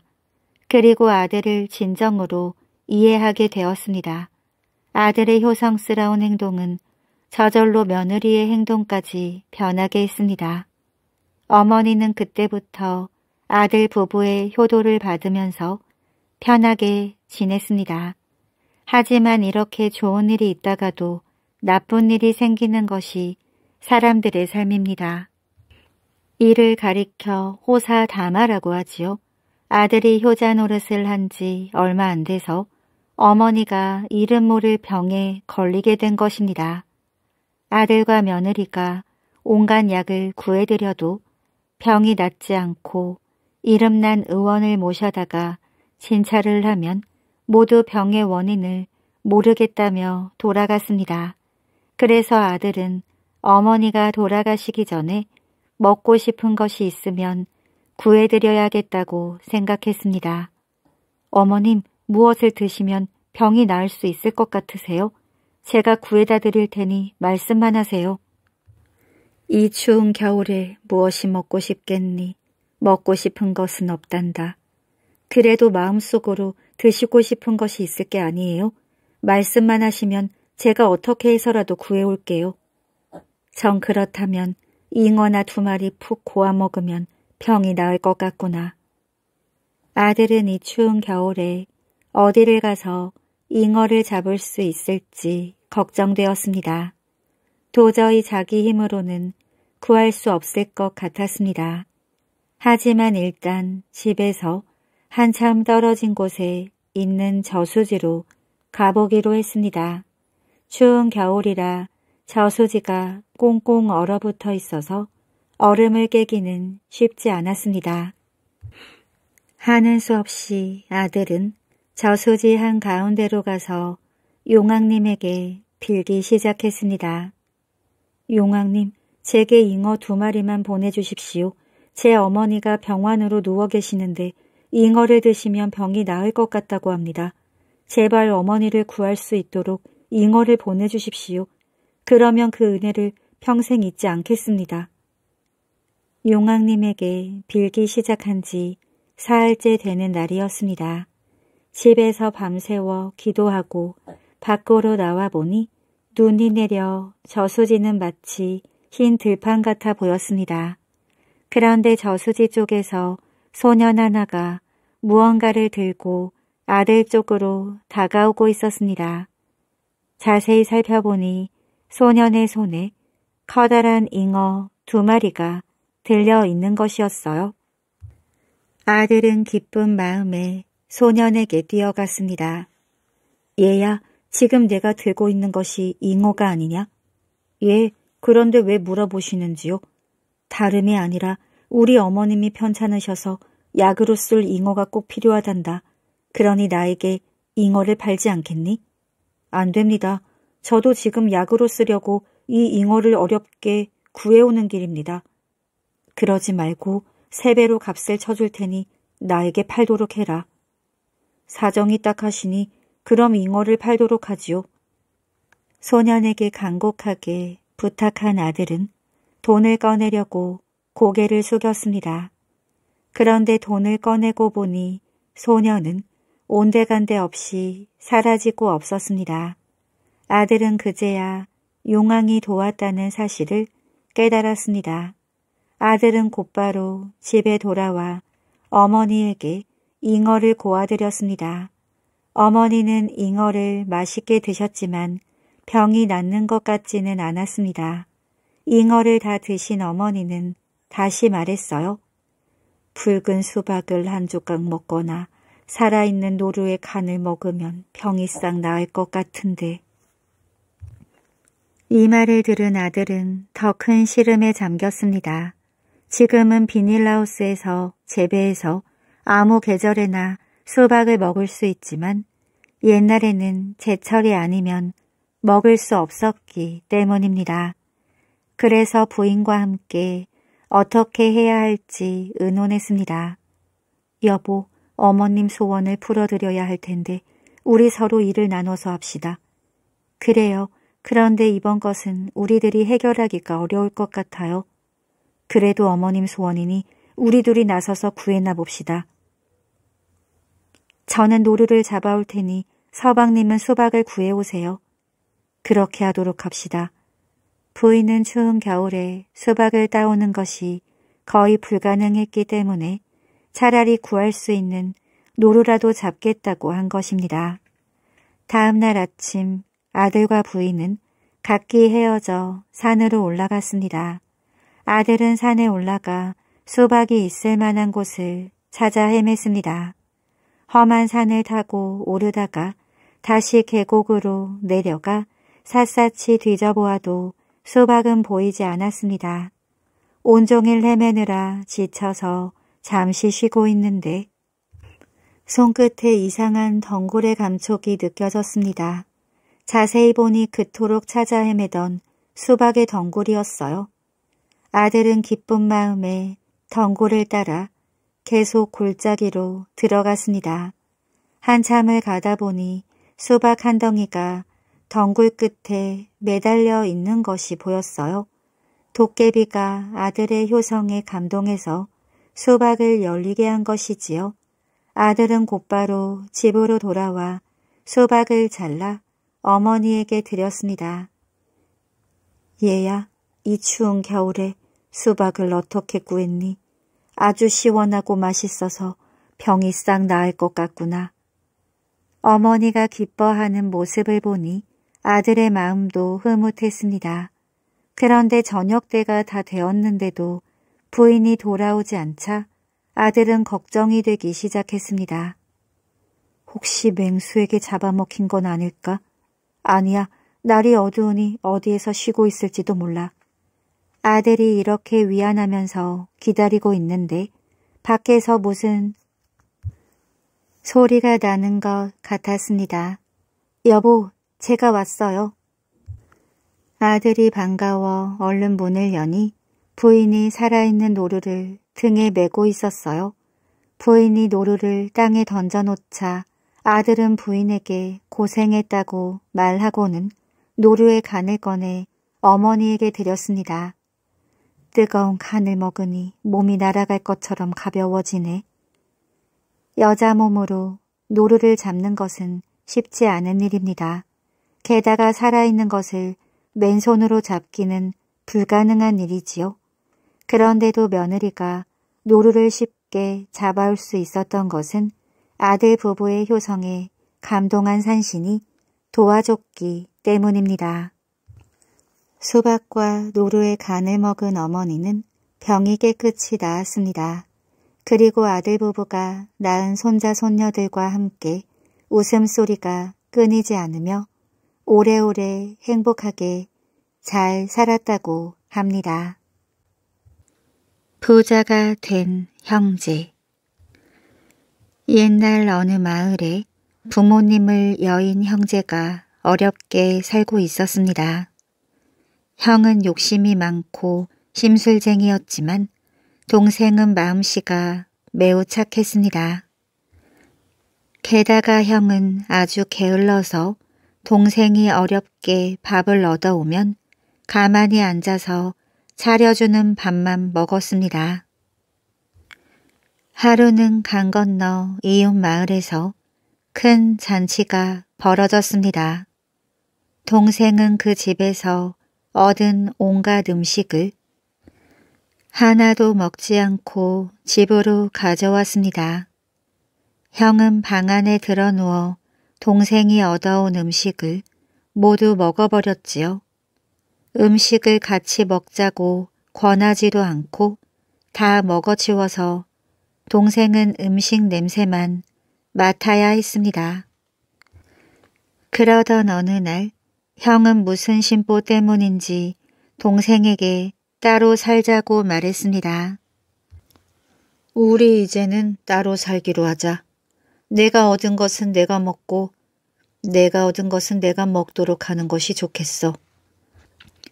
아이고 형님, 헤어지면 제가 어떻게 살 수 있겠습니까? 형님하고 같이 있으니 제가 이 정도로 살아가는 것이 아닙니까? 다시 한번 생각해 보시지요. 아니다. 이제 너도 클 대로 컸으니 따로 살아보는 것이 좋을 거야. 형이 막무가내로 우기면서 자기 진보다리를 싸가지고 나가버렸습니다. 동생은 형을 따라 나섰습니다. 얼마만큼 갔을 때 큰 길과 작은 길로 갈라지는 곳에 이르게 되었습니다. 이곳에서 정말 갈라서야겠다. 형님, 제가 잘못한 게 있다면 다시는 그런 일이 없도록 조심하겠습니다. 다시 생각을 되돌릴 수는 없나요? 아니다. 내가 큰 길로 갈 테니 너는 작은 길로 가도록 해라. 작은 길은 산 쪽으로 나 있어 위험해 보였습니다. 하지만 동생은 형 말을 따르지 않을 수 없었어요. 동생은 무서운 생각이 들었지만 노래를 부르며 길을 걷기 시작했습니다. 가다가 보니 사냥꾼이 짐승들을 잡으려고 파놓은 커다란 웅덩이가 나타났습니다. 동생은 웅덩이 속을 들여다보다가 아찔한 마음에 눈을 돌렸습니다. 그런데 그 옆에 주머니 하나가 떨어져 있었어요. 이게 뭘까? 동생이 주머니를 열어보니 돈이 가득 들어 있었습니다. 아니 이렇게 많은 돈을 누가 잃어버렸담. 돈 임자가 얼마나 걱정할까. 빨리 찾아줘야지. 동생은 돈 주머니를 들고 다시 길을 떠났습니다. 그런데 아까 헤어졌던 형이 길 옆 나무 밑에 앉아 있는 것입니다. 길이 산에 가로막혀 갈라졌다가 다시 하나로 합쳐진 것이었습니다. 형님, 여기서 무엇을 하고 계십니까? 내 손에 들고 있는 것이 뭐냐? 동생은 형을 보고 기쁜 마음에 달려갔지만 형은 동생을 만난 것보다 손에 들고 있는 것이 궁금했습니다. 길에서 주운 주머니인데 돈이 가득 들어 있습니다. 그래서 주인을 찾아주려고 들고 가는 길입니다. 형은 동생의 말을 듣고 속으로 잘 됐다고 생각했습니다. 돈이 가득 들어있는 주머니를 빼앗으면 얼마 동안은 국어를 안 해도 살 수 있기 때문입니다. 형은 동생을 데리고 깊은 산속으로 들어갔습니다. 으슥하고 울창한 숲으로 들어오자 형은 벼랑간 동생을 나무에 꽁꽁 묶었어요. 동생은 깜짝 놀라 아무 말도 못하고 벌벌 떨고만 있었습니다. 그러자 형은 동생이 앞을 보지 못하도록 눈을 다치게 하고는 돈 주머니를 챙겨서 도망쳤습니다. 동생은 처음에는 아파서 울었습니다. 그리고 나중에는 혼자 있는 것이 무서워서 울었지요. 깊은 산속이었기 때문에 울음소리는 대답 없는 메아리가 되어 울려왔습니다. 그런데 마침 산에 있는 절에서 돌을 닦던 스님이 일이 있어 마을로 내려가다가 그 소리를 듣게 되었습니다. 나무에 묶인 동생을 발견한 스님은 끈을 풀어주며 말했습니다. 이게 무슨 일이오? 어쩌다가 이런 꼴이 되었단 말이오? 스님은 걱정스러운 표정을 지으며 동생의 얼굴에 묻은 피를 닦아주었습니다. 그제야 스님은 동생의 눈이 볼 수 없게 됐다는 것을 알아차렸습니다. 어떤 놈이 이 지경으로 만들었단 말이오. 이건 사람이 아니라 짐승짓이구려. 아니에요. 눈이 아프다고 하니까 형님이 고쳐주려다가 이렇게 됐습니다. 동생은 형을 욕하는 소리를 듣기 싫어 이렇게 말했습니다. 형이라는 놈이 동생을 이 지경으로 만들었단 말이오. 내 형제 사이에 이렇게 우애가 없는 경우는 처음 보았소. 스님은 동생을 간단히 치료한 뒤에 마을로 데리고 갔습니다.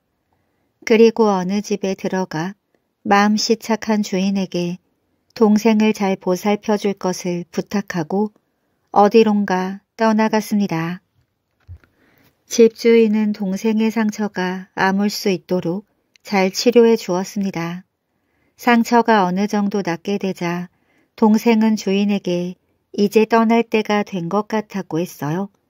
주인은 그런 꼴로 어디를 가느냐고 말렸지만 동생은 막무가내로 떠나겠다고 했습니다. 주인 부부는 가는 동안 먹을 음식이나 만들어줄 테니 내일 떠나라고 말했습니다. 다음 날 아침 동생은 주인 부부가 만들어준 음식을 잘 챙겨 고맙다는 인사를 하고 길을 떠났습니다. 동생은 길을 가다가 배가 고프면 음식을 꺼내 먹고 또 가다가 지치면 아무데고 앉아 쉬었습니다. 어느덧 해가 저물어 동생은 하룻밤 묵을 곳을 찾았습니다. 한참을 헤매고 다닌 끝에 허름하고 작은 초가집을 찾을 수 있었습니다. 아, 오늘은 여기에서 쉬고 가야겠구나. 눈이 보이지 않아 어떻게 생긴 집인지 알 수 없었지만 비가 오더라도 빗물이 새지 않을 정도는 될 거라는 생각이 들었습니다. 동생은 자리를 잡고서 저녁으로 남은 음식을 꺼내 먹고는 누웠습니다. 몹시 피곤했기 때문에 순식간에 잠이 들었지요. 언제부터인지 사람들 말소리가 들려오기 시작했습니다. 잠결의 동생은 꿈인지 생시인지 가물가물했습니다. 시끄러운 말소리에 결국 잠이 깬 동생은 주위에서 나는 소리를 자세히 듣기 시작했습니다. 사람들은 참 어리석어 이 집 앞에 있는 복숭아 나무는 신기한 힘을 갖고 있어서 그 복숭아를 따먹으면 눈이 훤하게 밝아질 텐데도 안 따먹으니 말이야. 그래 그래 이 집 안에서 잠자고 있는 사람도 눈이 안 보이는 것 같은데 왜 복숭아를 안 따먹는지 모르겠어. 그것을 세 개만 먹으면 눈이 옛날보다도 더 좋아질 텐데 말이야. 동생은 이들이 자기를 두고 말하는 것임을 알게 되었습니다. 그리고 이들이 보통 사람이 아니라 도깨비라는 것과 이 집이 도깨비들이 모이는 곳이라는 사실도 깨달았지요. 동생은 도깨비들이 또 무슨 말을 하는지 가만히 들었습니다. 그것뿐만이 아니야. 사람들은 너무나 미련한 것 같아. 아랫말 부잣집의 외동딸 있잖아. 그 딸이 지금 병에 걸려 오늘 죽을지 내일 죽을지 모르고 있어. 그 예쁘고 귀여운 딸이 왜 병에 걸리게 된 거야? 딸이 있는 방 지붕에 큰 지네가 살고 있거든. 그 지네가 뿜어내는 독 때문에 딸이 다 죽게 된 거지. 그런데 그것도 모르고 있단 말이야. 병을 잘 고친다는 의원이란 의원은 다 불러보았지만 신통한 치료를 하지 못하고 돌아갔다네. 사람들이 지네를 잡아 기름이 끓고 있는 솥에 넣어 없애면 되는데 그것을 모르고 있단 말이야. 아까운 딸만 죽게 되었군. 그래서 그 집에서는 딸을 살려내기만 한다면 재산을 다 줄 뿐만 아니라 딸과 짝을 맺어주겠다고 방을 붙였다고 하네. 그리고 그 윗집에 혼자 살고 있는 호랍이 있지? 그 사람도 참 미련해. 그 사람은 또 무슨 일인데? 아니 그 호랍이네 집 뒤에 가면 장독대가 있잖아. 돌로 조그맣게 만든 장독대 말이야. 그 장독대는 너무 작아 못 쓰겠던데. 그런데 그 장독대 밑에 은 항아리들이 묻혀 있어. 장독대 밑을 파내면 어렵게 장사를 하지 않아도 부자로 먹고 살 수 있을 텐데 그것도 모르고 있으니 얼마나 미련해. 동생은 도깨비들이 하는 말을 모두 기억해 두었습니다. 날이 밝아온다. 우리도 그만 헤어져야 할 시간이네. 그러세 오늘 밤에 다시 만나서 이야기를 나누기로 하지. 그제야 숨을 크게 쉴 수 있게 된 동생은 더듬거리면서 밖으로 나와 복숭아 나무를 찾았습니다. 잡히는 나무마다 가지를 더듬으며 열매를 따서 복숭아인지 확인했지요. 마지막 나무에 이르러 정말 복숭아 나무를 만났습니다. 열매를 하나 따먹으니 눈앞이 환해지기 시작했어요. 두 복숭아를 두 개째 따먹으니 뿌옇게 사람들의 윤곽이 보이기 시작했습니다. 열매를 세 개째 따먹자 예전과 같이 세상을 잘 볼 수 있게 되었어요. 세상을 다시 볼 수 있게 되었구나. 모두 그 도깨비들 덕분이야. 동생은 복숭아를 몇 개 더 따서 주머니에 넣고는 산 아래 마을로 내려갔습니다. 그 마을에서 가장 잘 사는 집에 가보니 정말 딸이 죽게 되었다고 난리였지요. 동생은 그 집 대문을 두드려 주인을 불러냈습니다. 딸이 다 죽을 지경인데 누가 나를 찾는단 말이냐.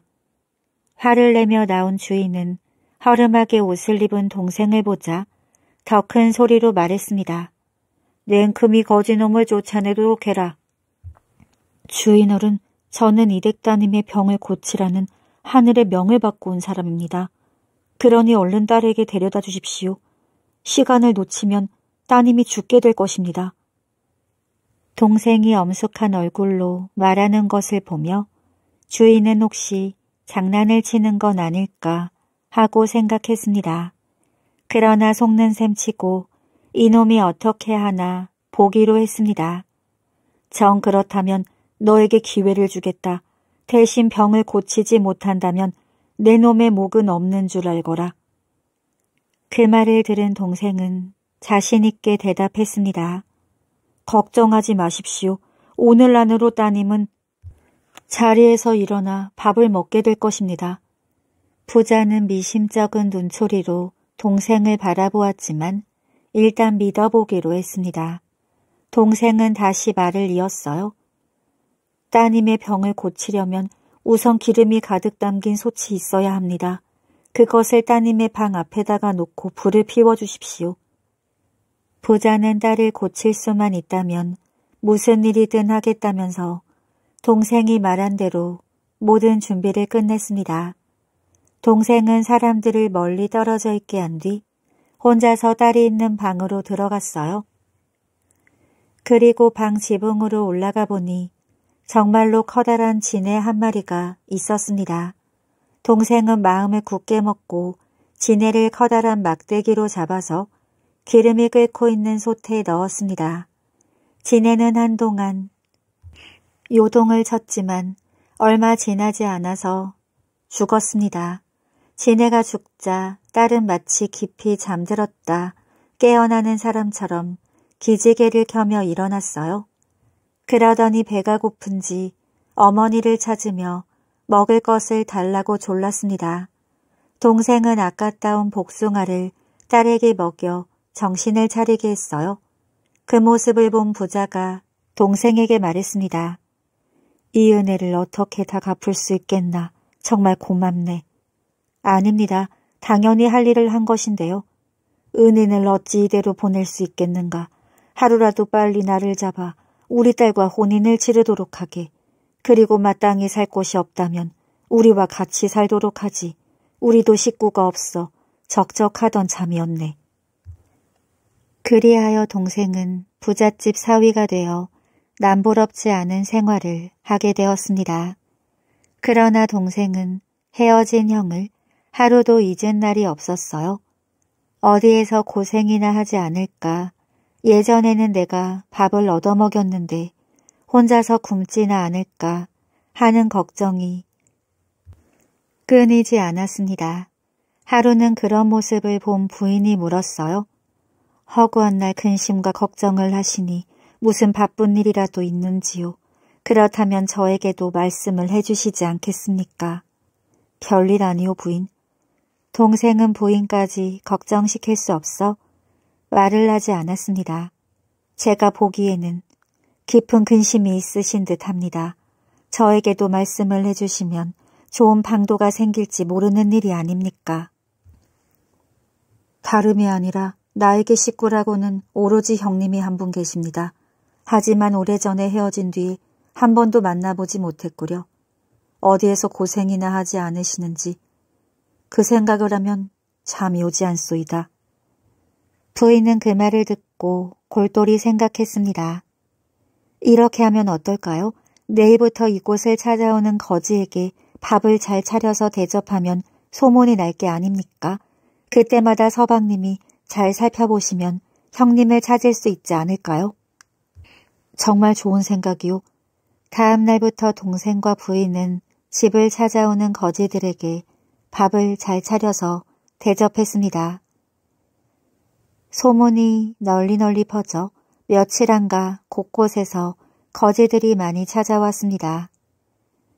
동생은 도깨비들이 이야기한 호라비 생각이 갑자기 났어요. 그래서 호라비 집을 찾아가 후한 돈을 줄 테니 집을 팔라고 했습니다.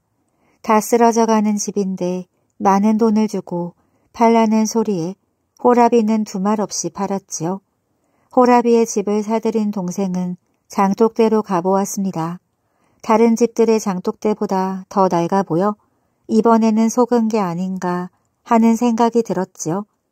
하지만 지금까지 벌어진 일을 보면 도깨비 말이 틀릴 리가 없을 거라는 생각이 들었습니다. 동생은 장독대 밑을 파기 시작했어요. 한참을 파다 보니 뚜껑이 잘 닫혀있는 커다란 장독이 여러 개 보였습니다. 한 장독의 뚜껑을 열어보니 그 속에는 정말로 번쩍번쩍 빛나는 은이 가득 들어 있었어요. 동생은 장독을 하나만 꺼내 집으로 옮겨왔습니다. 그리고 은을 팔아 거지들을 대접하는데 소홀하지 않도록 세심하게 신경 썼지요. 그렇게 몇 달이 흘렀습니다. 동생은 어느 날 거지들을 물끄러미 쳐다보다가 유난히 남루한 옷차림에 한 거지가 어디선가 많이 본 듯한 생각이 들었습니다. 동생은 혹시나 하고 신발도 신지 않은 채 달려나와 그 거지의 얼굴을 자세히 들여다보았지요. 형님이 아니십니까? 어디서 살고 계셨길래 이런 꼴이 되셨습니까? 형은 밥을 먹다 말고 동생의 얼굴을 쳐다보았습니다. 옛날 국어를 하던 모습은 온데간데 없고 윤기가 흐르고 귀티가 나는 얼굴이었지요. 형은 부끄러움을 못 이겨 도망쳤습니다. 그러나 얼마 못 가서 동생의 하인들에게 붙잡히고 말았지요. 형님 접니다. 형님의 하나밖에 없는 동생입니다. 동생은 형을 부둥켜 안고 기쁨의 눈물을 흘렸습니다. 그제야 형은 자신이 옛날에 동생에게 못되게 군 일들이 떠올라 죄스러운 마음에 더욱 흐느껴 울었습니다. 동생, 내가 심하게 괴롭힌 일을 용서하게 내가 너무 욕심을 부렸던 것 같아. 아닙니다, 형님. 저야 형님밖에 없는데 무슨 말씀이십니까? 이제 제가 어느 정도 먹고 살만하니 같이 삽시다. 아니다. 내가 이렇게 대해주는 것만 해도 나한테는 감지덕지야. 어찌 너와 같이 살 수가 있겠니? 그런 말씀하지 마십시오. 제가 형님과 같이 살기를 원해서입니다. 아니다. 나는 그럴 수 없다. 형이 계속 사양하자 동생은 함께 사는 것을 포기할 수밖에 없었습니다. 그 대신 호라비 집의 장독대 밑에 숨겨져 있는 은 항아리를 주기로 마음먹었습니다. 동생은 형을 데리고 호라비 집으로 가서 은이 담긴 항아리를 보여주고 나누어 가졌습니다. 동생의 착한 마음씨에 감동한 형은 악한 마음을 고치게 되었고 평생 동안 동생과 사이좋게 지냈다고 합니다. 호랑이 처녀 해마다 봄이 되면 나라의 젊은 남녀들이 흑륜사라는 절에 모여 답돌이를 하는 풍속이 있었습니다. 15일 동안 정성껏 연보를 외며 복을 빌면 그 기운이 나라 전체에 퍼져 모두가 평화롭게 살아간다고 믿었거든요. 어느 봄이 찾아와 흑륜사에는 많은 선남 선녀들이 모여들었습니다. 모두들 탑을 돌며 정성껏 복을 기원했어요. 하지만 15일 동안 매일같이 정성을 다해 탑돌이를 한다는 게 쉬운 일은 아니었습니다. 그래서 시간이 지날수록 지친 남녀들은 하나둘 집으로 돌아가기 시작했고 남녀 한 쌍만 남게 되었습니다. 그 중 남자의 이름이 김현이었는데 아주 효성이 깊은 사람이었나 봅니다. 병환이 든 노모의 건강을 빌며 하루도 쉬지 않고 답돌이를 했거든요. 그렇게 정성을 다해 답돌이를 하는 김연의 눈에 한 여자의 모습이 보였습니다. 그녀 역시 정성껏 답돌이를 하고 있었지요. 게다가 아주 예쁘게 생겨서 김연은 단번에 마음을 빼앗기고 말았습니다. 한참 동안 마음만 설레다가 김연은 용기를 내어 그 처녀에게 다가가 사랑을 고백했지요. 그 처녀 역시 김연을 오랫동안 보아오고 있었나 봅니다. 김연의 고백을 기쁘게 받아들였습니다. 답돌이를 마치게 되었을 때 갑자기 처녀의 모습이 보이지 않는 겁니다. 아무 말도 없이 말이에요. 김연은 처녀가 바쁘게 길을 재촉하고 있는 산으로 달려가 말했지요. 아무 말도 없이 이렇게 떠나면 어떻게 합니까? 댁이 어디시지요? 시간이 많이 늦었습니다. 게다가 이 산길은 호랑이가 사는 험한 곳입니다. 제가 댁까지 바래다 드리겠습니다. 혼자서는 위험합니다. 처녀는 간절한 표정으로 대답했습니다. 제발 그냥 돌아가 주세요. 그리고 절대 저를 따라오지 마세요. 이 길은 자주 다니던 길이라 위험하지 않습니다. 그러니 제발 돌아가 주세요. 처녀는 기면을 외면하고는 바쁘게 길을 재촉했어요. 하지만 기면은 다시는 만나지 못할 인연의 사람인 것처럼 여겨져 몰래 처녀의 뒤를 쫓았지요. 어두운 산길을 지나 처녀는 초가집에 도착했습니다. 한 노파가 처녀를 맞이하고 있었습니다. 같이 집으로 들어가려는 찰나에 나무 뒤에 숨어 있는 기면을 노파가 보게 되었지요. 거기 웬 놈이냐? 어서 나오지 못할까? 처녀는 그가 김연이라는 것을 금세 눈치챘습니다. 그리고는 노파에게 말했어요. 어머니, 저분은 저와 함께 탑돌이를 하신 분이에요. 제 말씀을 들어보세요. 자초재종을 들은 노파는 놀란 가슴을 가라앉히고 말을 이었습니다. 하지만 어떻게 하냐. 이제 곧 오라버니들이 돌아올 텐데. 그러게 말이에요. 보름 동안이나 정성을 들였는데 또다시 살생을 저지르게 되면 이번에는 정말로 하늘의 노여움을 피하지 못할 거예요. 노파는 기면을 다락방으로 급히 숨기게 했습니다. 도대체 무슨 영문인지 기면은 알 수 없었지요. 여하튼 기면은 노파와 처녀가 시키는 대로 숨었습니다. 다락방에 올라가 고개를 갸웃거리며 문틈을 내다보고 있었지요. 그러자 호랑이 세 마리가 어슬렁거리며 대문으로 들어오는 겁니다. 기면은 정말 크게 놀랐지요. 더 놀라웠던 건 호랑이 세 마리가 집 안으로 들어오자 노파와 처녀까지 호랑이로 변했다는 겁니다. 김연은 기겁을 냈습니다. 이제 꼼짝없이 죽는구나. 불편한 어머니 생각을 잠시 잊고 있었던 내 탓이지. 내가 죽으면 어머니는 어쩌지? 김연은 자신의 목숨보다 어머니의 건강이 더 걱정스러웠습니다. 이상한데? 이거 사람 냄새잖아. 저쪽에서 나는 것 같은데? 그래, 분명히 사람 냄새야. 호랑이들은 코를 킁킁거리며 다락방 쪽으로 다가왔습니다. 그 순간 호랑이로 변한 처녀가 앞을 막았지요. 오라버니들, 이건 제가 좀 전에 사람들 틈에 섞여 탑돌이를 하고 왔기 때문에 나는 냄새예요. 하지만 호랑이들은 처녀의 말은 귓등으로도 듣지 않고 발톱을 세우며 더욱 코를 킁킁거렸지요. 바로 이때 갑자기 하늘에서 번개가 치고 바람이 세차게 불더니 산신령의 목소리가 들려왔습니다. 들어라, 답돌이를 하며 드린 정성이 기특하다만 아직도 씻지 못한 죄가 있다. 살생의 죄를 계속해서 저지르려 하다니 용서할 수 없도다. 내 놈들 중 한 놈을 버려야겠다. 하늘의 울림을 듣자 호랑이들은 풀이 죽을 수밖에 없었습니다.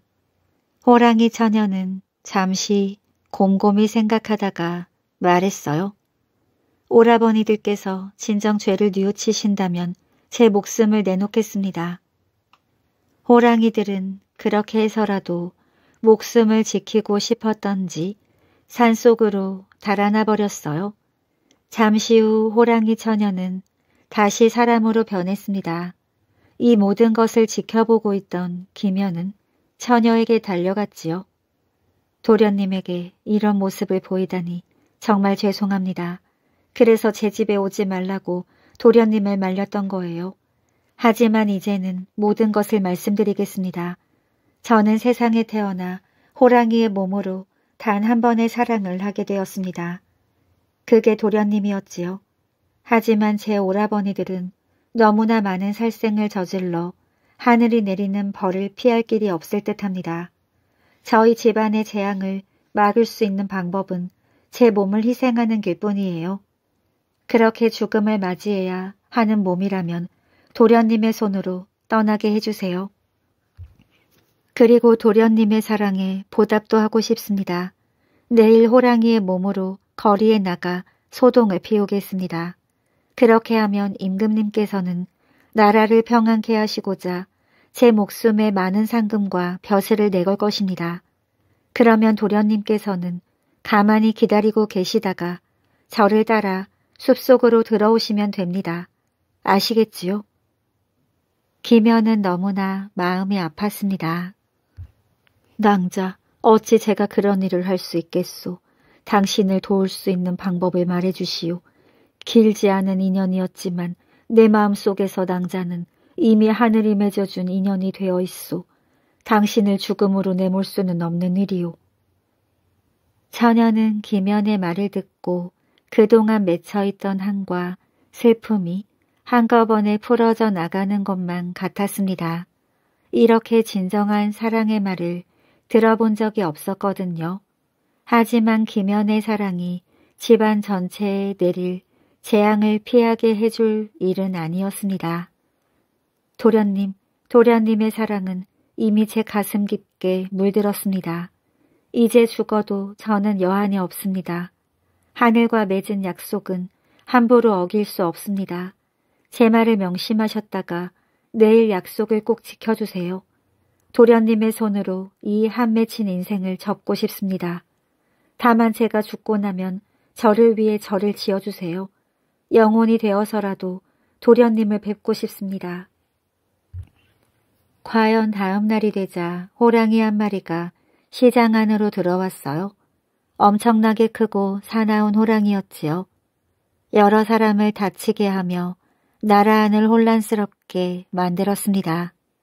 임금님은 호랑이를 잡는 자에게 관직과 상금을 주겠노라 약속했습니다. 김현은 처녀와의 약속을 지키기 위해 임금님께 나아가 호랑이를 잡아오겠다고 했습니다. 처녀가 말해준 숲속으로 들어가니 호랑이에서 다시 인간으로 변한 처녀가 누워있는 겁니다. 죽음을 초연하게 기다리며 처녀는 말했지요. 제가 다치게 한 사람들은 흑윤사에 된장을 바르면 아무 상처 없이 나게 될 겁니다. 도련님, 사랑하는 도련님, 이제 제 목숨을 거두어 주십시오. 낭자, 내가 어찌 그럴 수 있소. 남들은 당신을 사나운 호랑이라고 하겠지만 내게는 그저 아리따운 마음을 지닌 소중한 목숨일 뿐이요. 정말 다른 방법이 없겠소. 도련님, 도련님의 사랑은 이제 제게는 목숨과 같은 것입니다.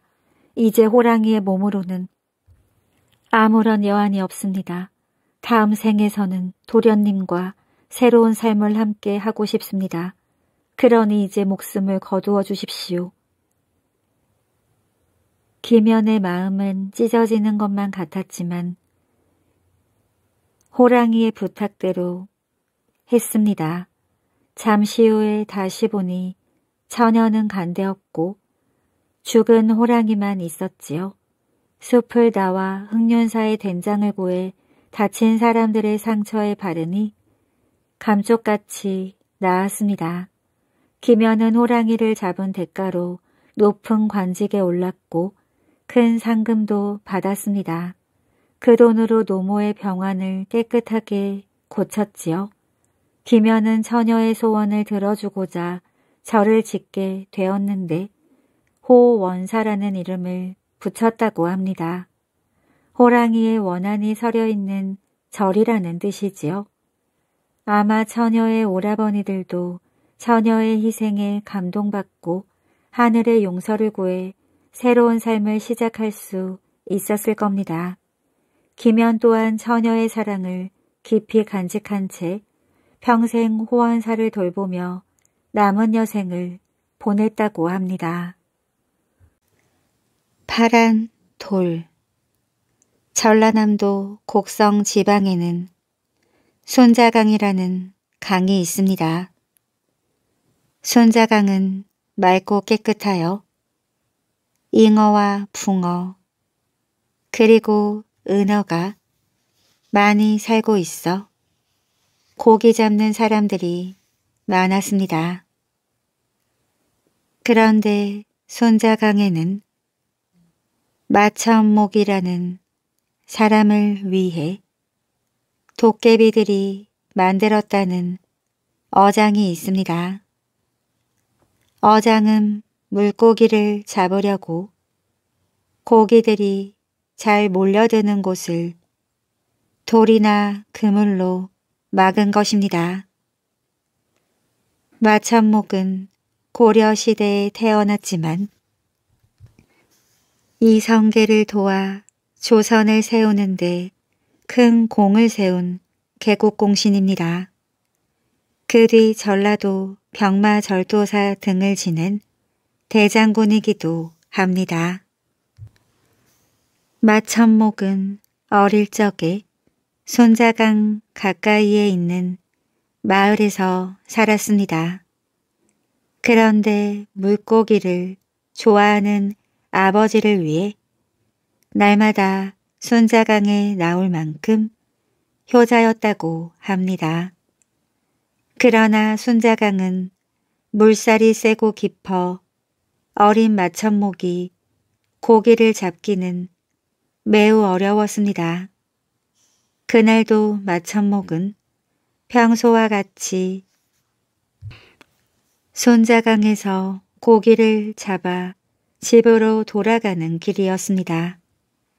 그런데 길바닥에 파란 빛이 나는 이상한 돌이 떨어져 있어서 얼른 주워 집으로 돌아왔습니다.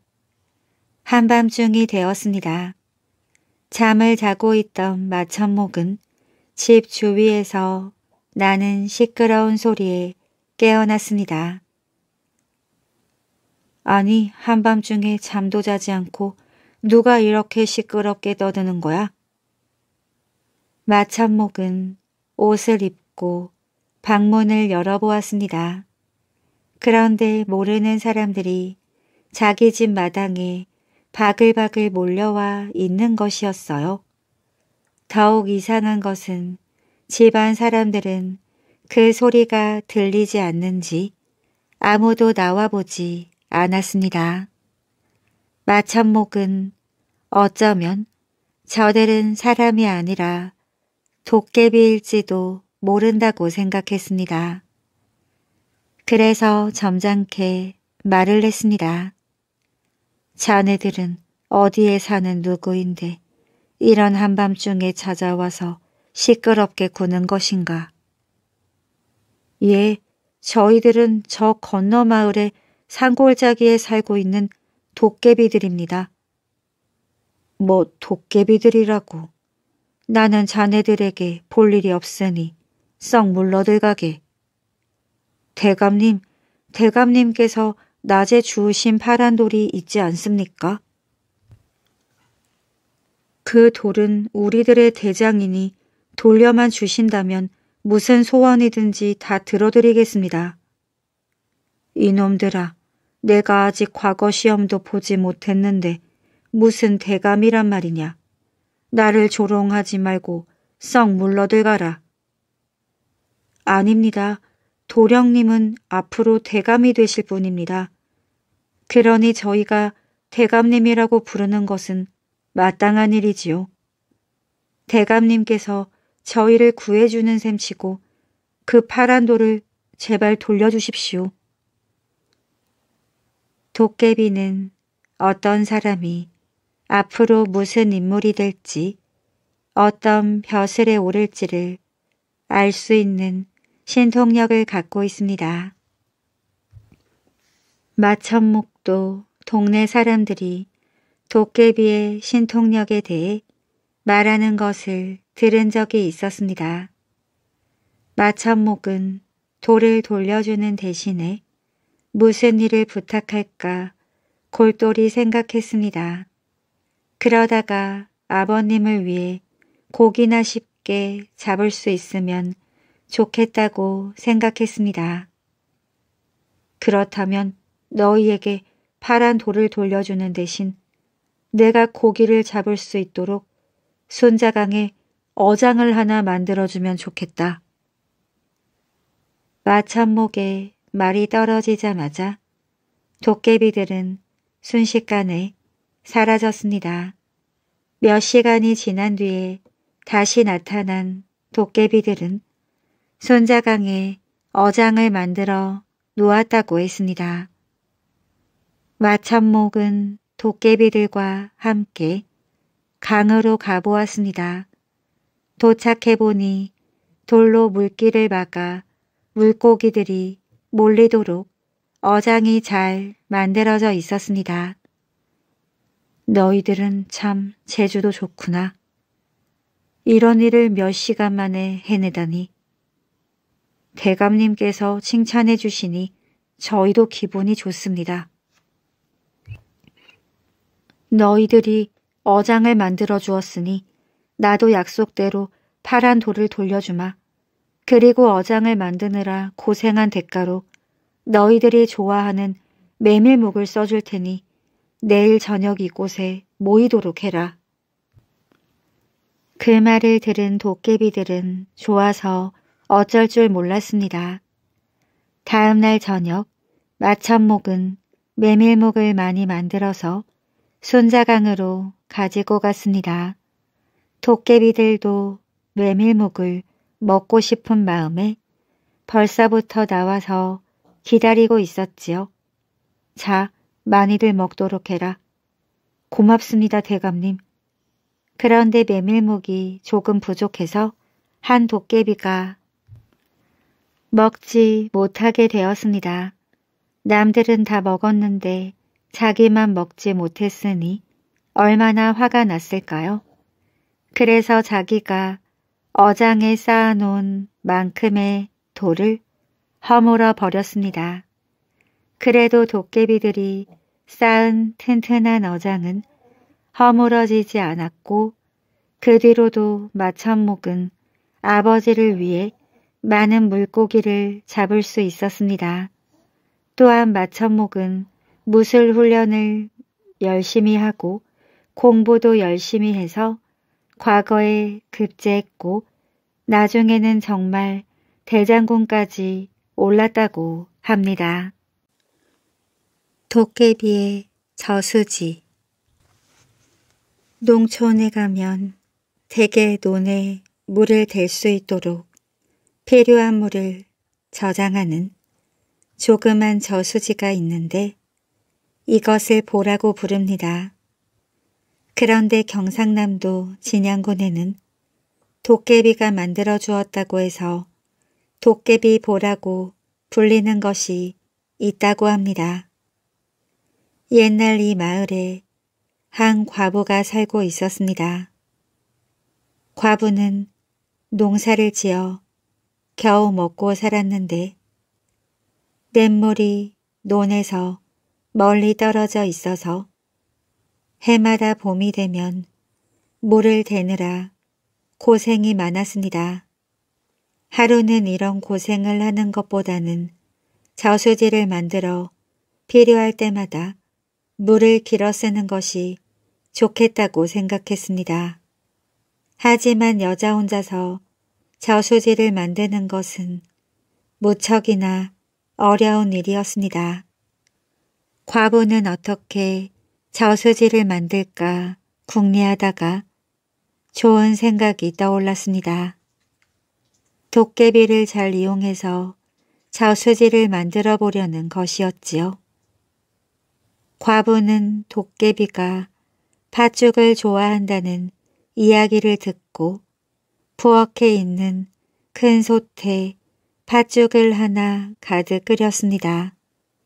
그리고 밤이 되자 그릇 여럿에 팥죽을 담아가지고 도깨비가 자주 나타나 고기를 잡는다는 강가에 쭉 늘어놓았습니다. 그날 밤에도 강에서 고기를 한참 잡던 도깨비들은 속이 출출해지자 일을 멈추고 강가로 나왔습니다. 아, 배고파. 먹을 것 좀 없을까? 고기를 한참 잡았더니 나도 배가 몹시 고픈데. 아니 그런데 이게 무슨 냄새야? 우리가 좋아하는 팥죽 냄새 아니야? 그제야 도깨비들은 어딘가에 팥죽이 있다는 것을 알아차렸습니다. 도깨비들은 두리번 두리번 하다가 그릇에 담긴 팥죽을 발견했습니다. 배가 고픈 참에 팥죽을 본 도깨비들은 허겁지겁 달려들어 맛있게 먹었습니다. 팥죽을 모두 먹고 나서야 도깨비들은 누가 이 팥죽을 마련해 놓은 것인지 궁금했습니다. 누가 우리를 위해 갖다 놓은 것일까?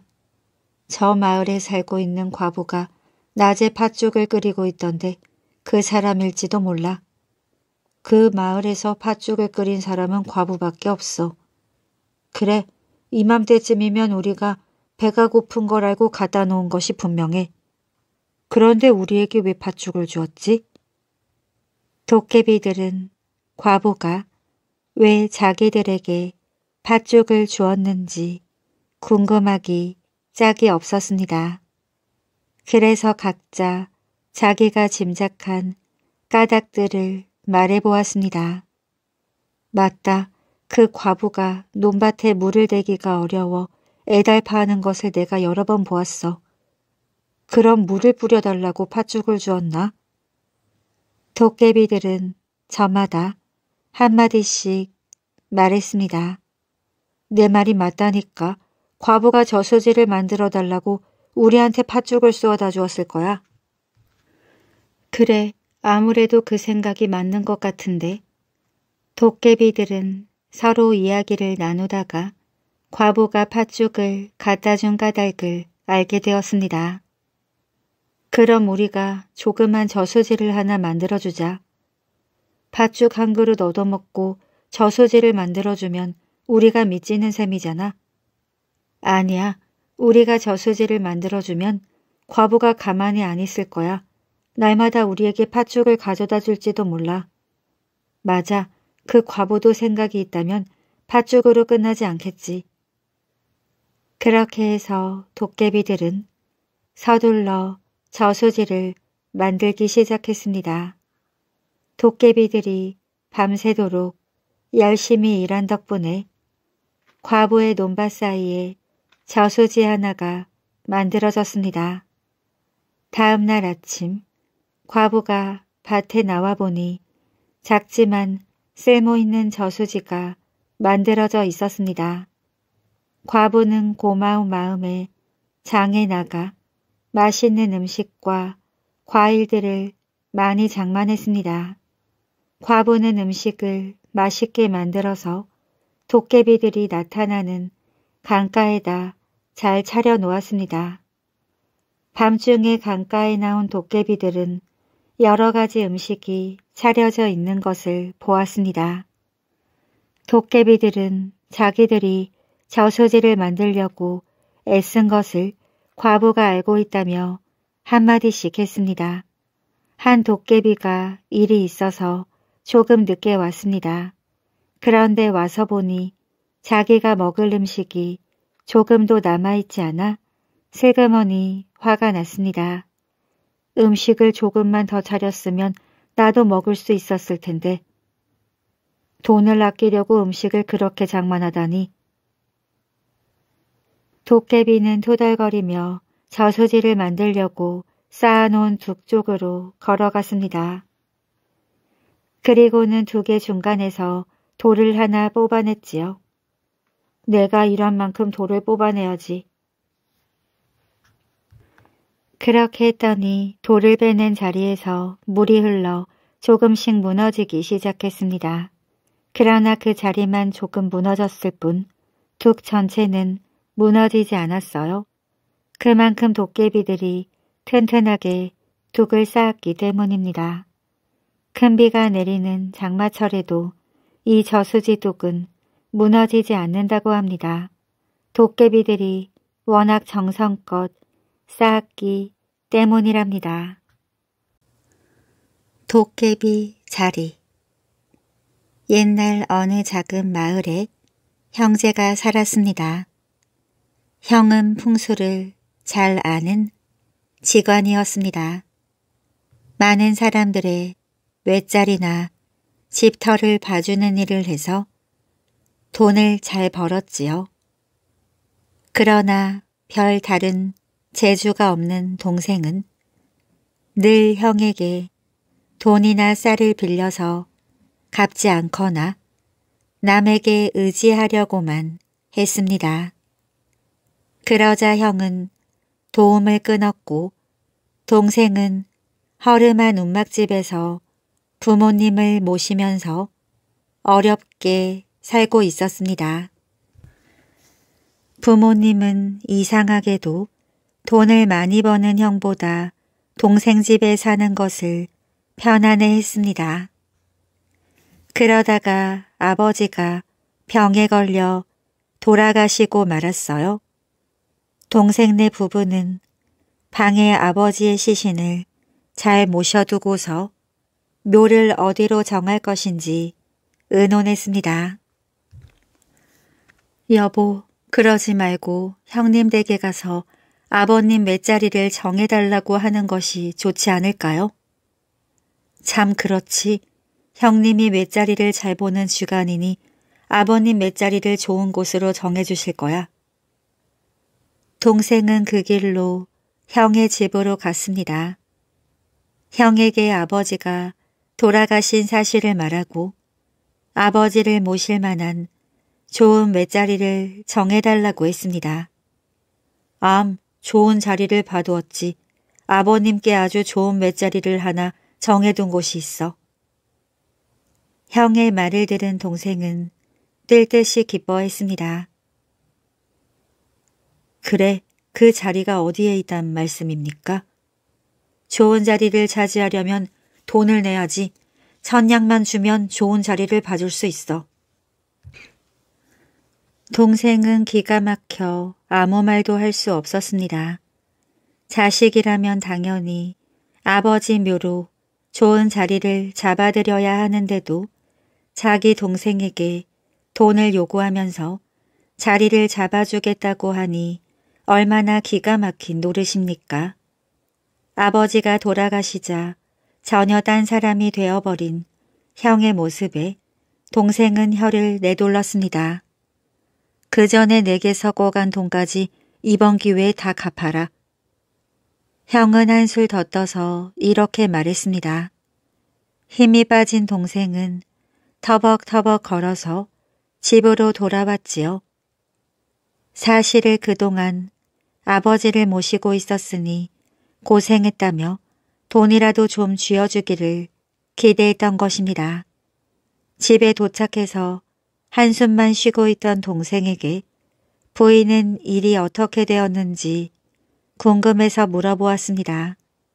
동생은 형 말을 그대로 전한 뒤 우리 형편에 어떻게 천냥을 구하느냐고 하소연했습니다. 부인은 그 말을 듣고 이렇게 말했어요. 서방님 걱정하지 마세요. 제가 어떻게 해서든지 돈을 구해올 테니 형님에게 가서 맷자리를 잡아달라고 하세요.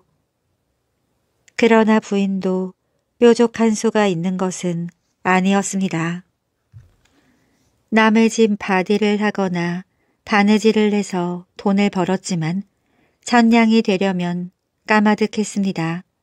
부인은 하는 수 없이 친정집에 가서 사정을 말하고 겨우 돈을 구해올 수 있었습니다. 동생은 돈을 가지고 형에게 가서 천냥을 건넸습니다. 형은 돈을 받아 금고에 넣으며 퉁명스럽게 말했습니다. 내일 2시까지 뒷산 골짜기로 아버님 관을 지고 오너라. 다음 날 동생은 지게에 아버지 관을 얹고 약속한 곳으로 갔습니다. 미리 와 있던 형은 아무 말 없이 앞서 걷기만 했지요. 동생은 속으로 화가 났습니다. 형도 아버지가 낳은 자식인데 자기는 손 하나 까딱하지 않고 걸어가니 말입니다. 그러나 형이 좋은 외자리를 잡아줄 거라는 생각에 아무 말도 하지 않았습니다. 이윽고 형은 걸음을 멈추더니 아버지 관을 내려놓으라고 손짓했습니다. 동생은 형이 가리킨 곳에 구덩이를 파고 아버지 관을 묻었습니다. 다 묻고 나자 주위는 벌써 어두워졌습니다. 형은 뒷짐을 지고 구경만 하고 있다가 동생이 일을 마치자 입을 열었습니다. 너는 오늘 마을로 내려올 수 없다. 나는 집으로 가지만 너는 여기서 밤새도록 아버님 산소를 지켜야 한다. 그렇게 하지 않으면 나쁜 일이 생길 뿐만 아니라 아버님도 편히 쉬시지 못할 것이야. 그리고 네가 준 돈 천냥도 헛될 것이다. 이 말을 들은 동생은 어쩔 수 없이 아버지 무덤을 지켰습니다. 밤이 깊어지면서 산짐승들의 울음소리가 산을 울리자 동생은 무사움에 떨기 시작했습니다. 자정이 가까운 한밤중이었습니다. 어디선가 도깨비 불들이 나타나 휙휙 날아다녔습니다. 그러더니 곧 도깨비들의 말소리가 시끌시끌하게 들려왔습니다. 어느 놈이 우리 자리에 묘를 썼는지 밝혀야 해. 이 자리에 묘를 쓰는 멍텅구리가 어디 있어? 이 묘를 파헤치고 그놈을 벌줘야 한다고. 도깨비들의 말을 들은 동생은 두려움에 아무 소리도 못하고 가만히 있었습니다. 도깨비들이 묘를 파내야 한다고 소리치면서 몰려드는데 한 도깨비가 점잖게 말을 했습니다. 그러면 안 된다. 왜 안 돼? 우리 자리에 묘를 쓴 것이 그럼 잘한 일이냐? 이 자리는 자기 형에게 돈 천냥을 주고 동생이 아버지 묘를 쓴 거야. 만약 우리가 이 묘를 파낸다면 그 동생은 평생 신세를 망치게 될 거야. 그러니 이 묘는 파낼 수 없어. 동생은 숨죽여 도깨비들의 말을 듣고 있었습니다. 그래서 아버지 맷자리로 쓴 곳이 도깨비들이 모이는 장소임을 알게 되었지요. 옛날부터 도깨비들이 모이는 곳을 집터나 맷자리로 쓰면 부자가 된다는 말이 있었습니다. 동생은 새벽이 되기를 기다렸다가 형의 집으로 갔습니다. 형은 반가운 얼굴로 달려나와 동생의 손을 잡고 방으로 들어갔습니다. 내가 너한테 인정 없이 대한 것은 다 이유가 있단다. 무엇 때문입니까? 형은 금고에서 돈 천냥을 꺼내 동생에게 돌려주었습니다. 그리고 지금까지 왜 동생을 도와주지 않았는지 그 까닭을 말해주었어요. 넌 내가 도와주지 않아 많이 원망했을 것이다. 그러나 처음부터 도와주기만 했다면 너는 내게 기대어 아무 일도 하지 않고 놀고 먹기만 했을 게다. 이제 너는 혼자서도 잘 살아갈 수 있을 거다. 아버님 맷자리는 도깨비 자리다. 그 자리를 맷자리로 쓰면 크게 부자가 된다고 해서 너를 위해 받은 것이다. 그리고 형은 동생을 위해 푸짐한 술상을 차려주었습니다. 그 뒤로 동생은 정신을 차리고 열심히 일해서 부자가 되었답니다. 또한 형의 속마음을 알아차린 동생은 형과 사이가 더욱 좋아졌답니다. 신주 빌려간 도깨비 옛날 서울 남산 밑에 김선달이라는 사람이 살고 있었습니다. 김선달은 친구 사귀는 일을 가장 큰 즐거움으로 삼았어요. 그래서 친구들을 만나 활쏘기 시합을 한 뒤 주막으로 몰려가 술 마시는 일로 시간을 보냈습니다. 그러나 특별히 하는 일이 없었기 때문에 살림은 점점 쪼들렸습니다. 돈이 다 떨어지자 찾아오는 친구도 없었고 심지어는 따돌림까지 당하게 되었습니다. 그러자 김선달은 밖으로 돌아다니지 않고 날마다 집에서만 지냈습니다. 부인은 속으로는 좋았지만 한편으로는 남편이 불쌍해 보였어요. 여보, 요새는 왜 친구들과 어울리지 않으세요? 날마다 친구 만나느라 바쁘던 사람이 집에서 꼼짝을 하지 않고 있으니 신기하구려. 요새 집안 살림이 궁핍하니 내가 돈을 쓸 수가 있어야지. 그 사실은 부인도 알고 있었습니다. 부인도 걱정이 태산 같았지요. 추석이 다 되었는데 김선달네 집은 먹을 것이 하나도 없었습니다. 아이들은 추석을 맞아 새 옷을 해달라고 칭얼대고 차례상에 올릴 과일과 음식도 준비해야 했습니다. 부인은 큰 결심을 한 듯 김선달에게 시집 올 적에 가져와 장롱 깊숙이 숨겨두었던 옥비녀를 꺼내주면서 장을 보라고 했습니다. 우리 집에 돈이 될 만한 것이라고는 이 옥비녀가 마지막입니다.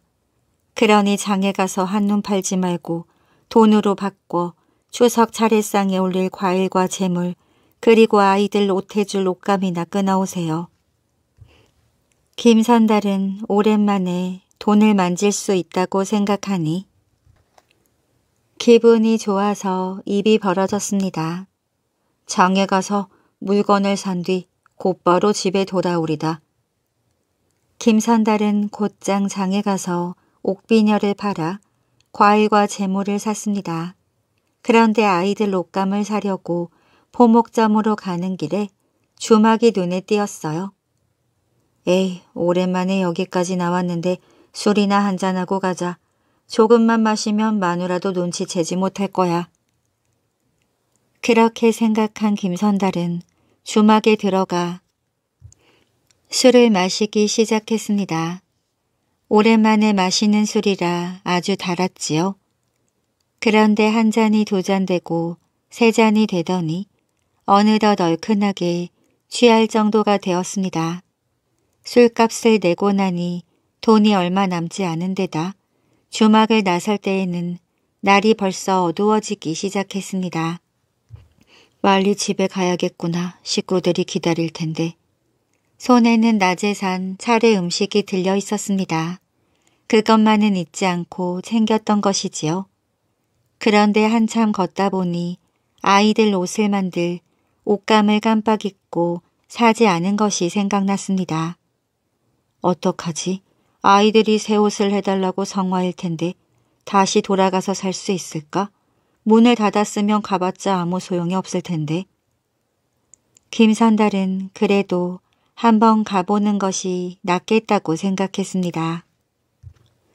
그래서 오던 길을 되돌아갔지요. 그런데 그 길에서 웬 낯선 남자를 만나게 되었습니다. 머리에 페랭이를 쓴 그 사람은 김선달을 보자 땅바닥에 꿇어 앉더니 넙죽 큰 절을 했습니다. 선달님, 제발 저를 도와주십시오. 나는 너를 잘 모르겠는데 너는 나를 아느냐? 그런데 무슨 일로 나에게 도와달라는 것이냐? 다름이 아니었고 오늘이 저희 아버님 제삿날인데 돈이 하나도 없어 제사상에 올릴 음식을 장만하지 못했습니다. 그러니 저에게 엽전 다섯 양만 꿔주시면 소원이 없겠습니다. 내일 저녁에 꼭 갚을 테니 제발 빌려주십시오. 남자가 얼마나 애절하게 말을 하는지 김선달도 눈물이 날 지경이었습니다. 거기에다 술까지 거나하게 마셔 호기가 생긴 탓인지 김선달은 대뜸 그 사람에게 다섯 냥을 주었습니다. 그 사람은 거듭 고맙다는 인사를 하더니 순식간에 어디론가 사라졌습니다. 집에 돌아온 김선달은 부인에게 실컷 야단을 맞았습니다. 알지도 못하는 사람에게 돈을 다섯 냥이나 꿔주고 빈털터리로 돌아왔으니 부인이 화를 낼 만도 하지요. 아이들도 아버지가 옷감을 끊어 오지 않자 대단히 심술이 났습니다. 다음 날 저녁 되었습니다. 겨우 죽을 한 그릇씩 먹고 방 안에 들어누워 있는데 어떤 남자가 김선달을 불렀습니다. 선달님, 선달님, 거기 누구요? 우리 집에는 먹을 것이라고는 하나도 없으니 다른 집에나 가보시구려. 그게 아니라 어제 선달님에게 빌린 돈을 갚으려고 찾아온 것입니다. 아, 그렇소. 그렇다면 이쪽으로 들어오시구려. 아닙니다. 돈만 드리고 가겠습니다. 그러더니 김선달 손에 엽전 다섯 냥을 지워주고는 가버렸습니다.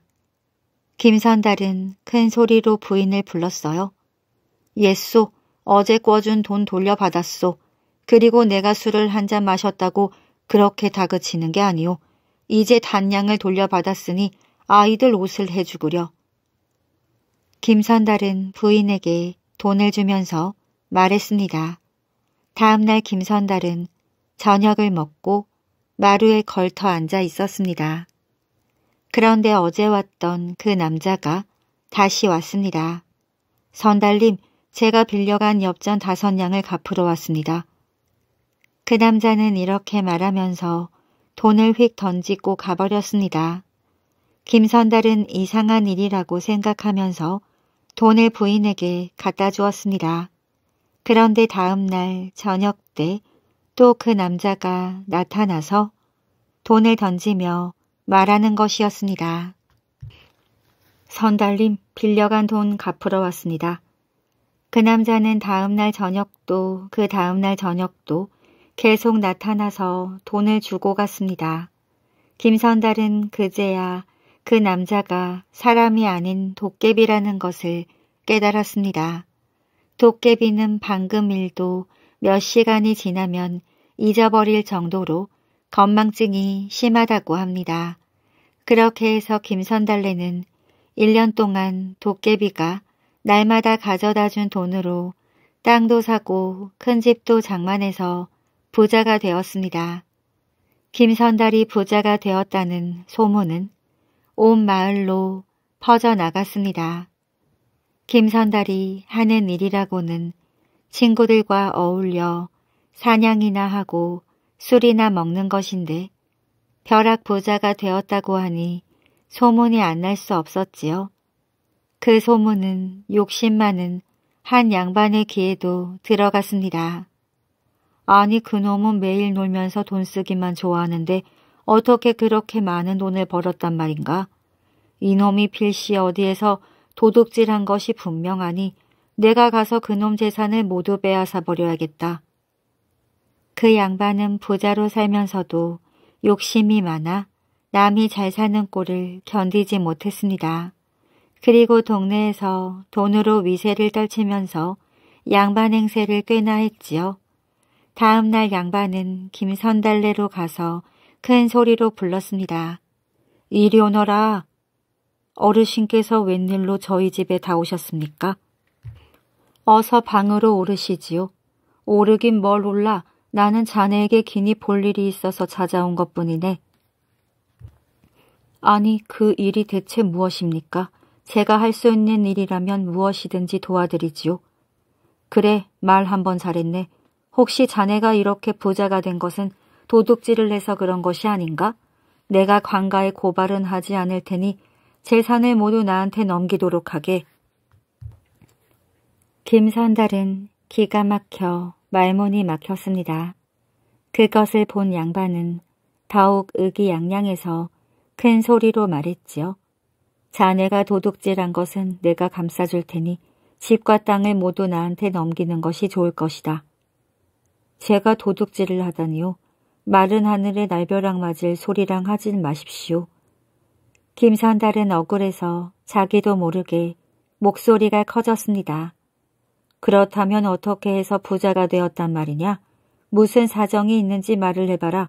만약에 거짓말을 한다면 내가 가만두지 않을 것이다. 김산달은 도깨비를 만나서 엽전 다섯 냥을 꿔주었더니 날마다 다섯 냥을 갖다 주더라는 이야기를 했습니다. 그러나 이 이야기를 그대로 믿을 사람이 어디 있겠어요? 양반은 자기를 놀리는 말인 줄 알고 다시 큰 소리로 호통을 쳤습니다. 아니 이제 나를 놀리려 드는구나. 그것이 무슨 말이냐?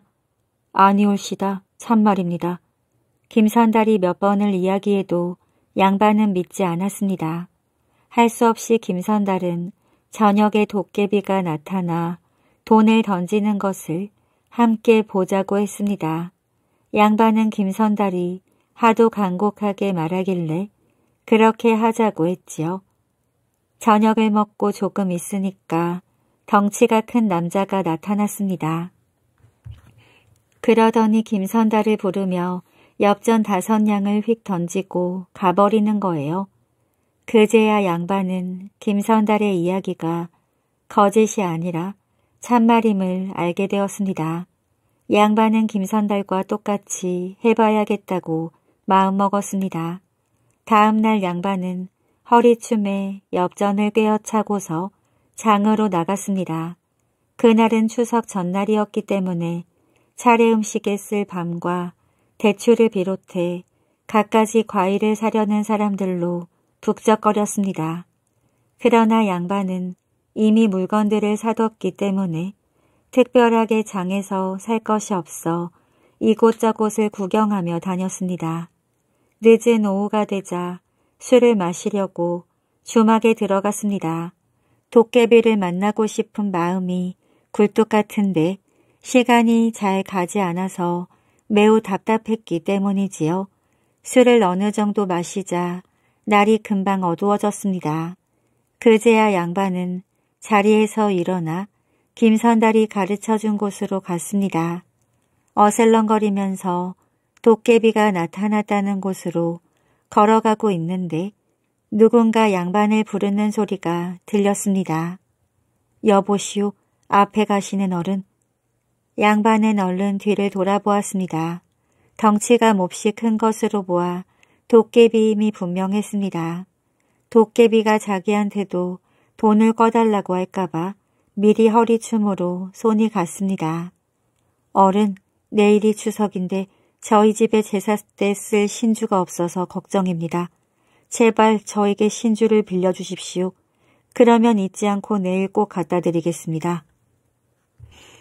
양반은 돈을 빌려달라고 하면 좋겠다고 생각했지만 신주를 빌려주면 신주 대신에 돈으로 갖다 줄지도 모르는 일이라고 생각했습니다.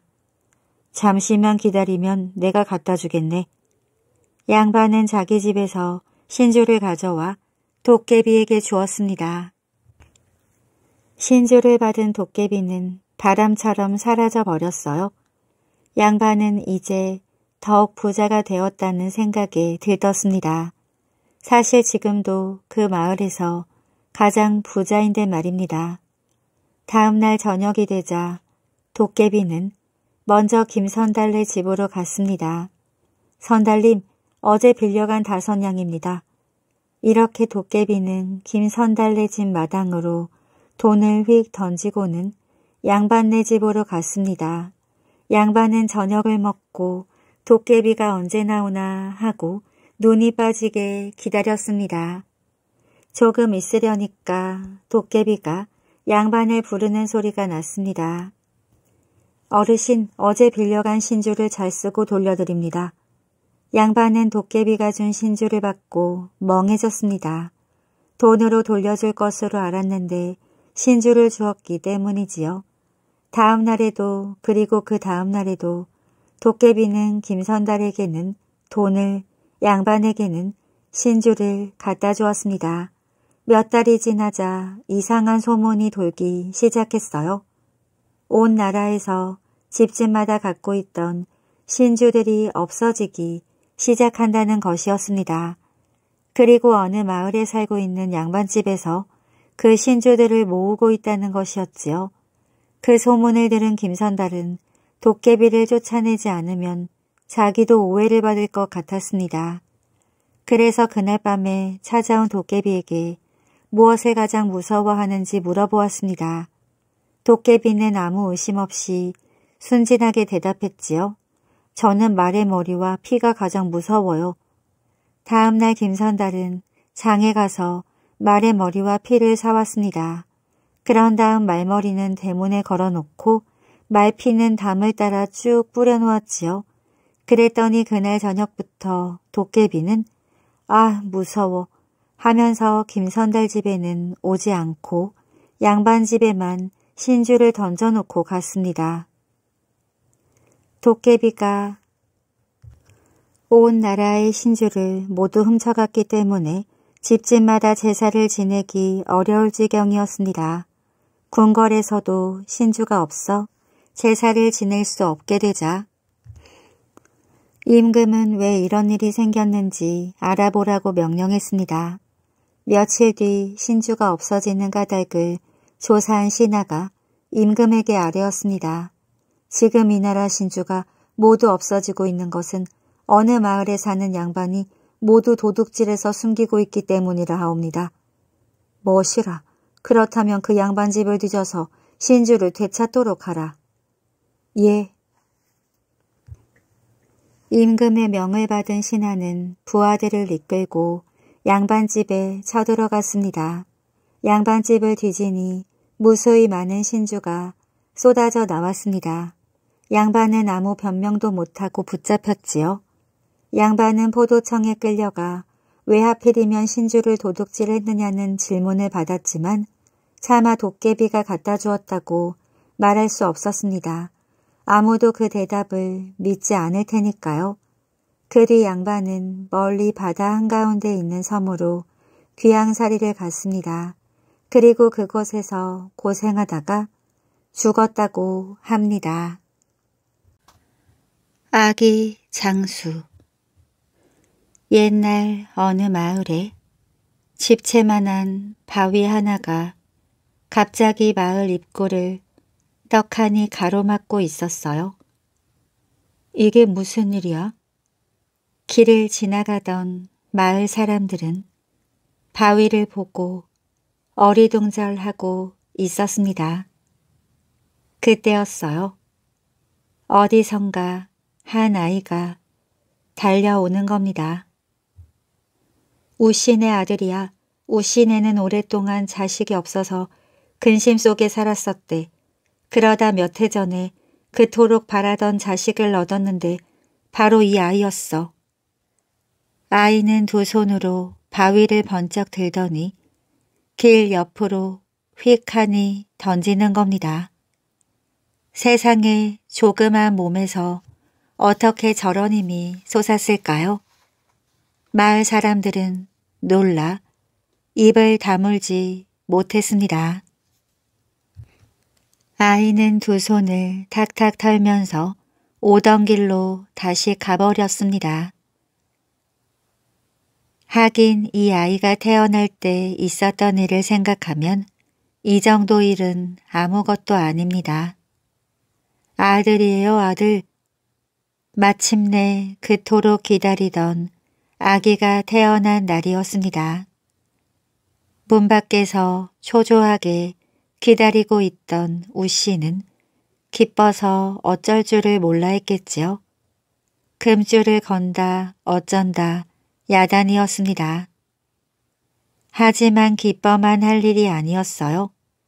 아기는 금줄처럼 배배 꼬인 탯줄을 감고 태어났거든요. 산파가 아무리 탯줄을 자르려고 해도 탯줄은 좀처럼 끊기지 않았습니다. 정말 큰일이었어요. 이러다가는 아기는 울음 한번 울어보지 못하고 죽을 지경이었습니다. 한참 동안 끙끙대고 있는데 밖에서 우씨가 억새풀을 건네주었습니다.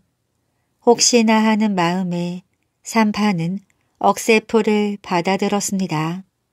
고래 심줄처럼 질긴 억새풀로 탯줄을 끊고 또 끊었지요. 마침내 탯줄이 끊기고 아이가 의앙하고 울었습니다. 아니 이게 또 뭐야? 대체 또 무슨 일이래? 옆에서 보고 있던 사람들도 모두 놀라 말을 잇지 못했습니다. 아기의 겨드랑이에 얼레빈만한 날개가 달려있는 겁니다. 우시 부인이 아기를 꼭 껴안은 채 울음을 터뜨렸어요. 부인이 우는 것은 바로 전설 때문이었습니다. 마을에는 매바위라는 곳이 있었는데 오랫동안 전설 하나가 전해오고 있었습니다. 이 마을에 날개를 단 영웅이 태어난다는 전설이었지요. 그 영웅이 태어나면 자신의 부모를 죽이고 마을과 심지어는 나라를 뒤엎을 만한 큰 일을 일으킨다는 아주 무시무시한 전설이었습니다. 아이가 날개를 달고 태어났다는 소식은 금세 마을 전체로 퍼져나갔습니다. 마을 사람들은 걱정과 근심에 쌓여 모이기만 하면 수근수근 거렸지요. 그런 것에 아랑곳도 않고 아이는 하루가 다르게 쑥쑥 커갔습니다. 아이는 걷기도 전에 말을 하고 휙 날아 단번에 실험 위에도 올라가곤 했습니다. 그런 아이를 볼 때마다 우씨 부부의 근심은 점점 더 깊어갔어요. 어머니, 얼마 안 있으면 군사들이 저를 죽이러 올 거예요. 어느 날 아이가 말했습니다. 우씨 부인은 화들짝 놀랐지요.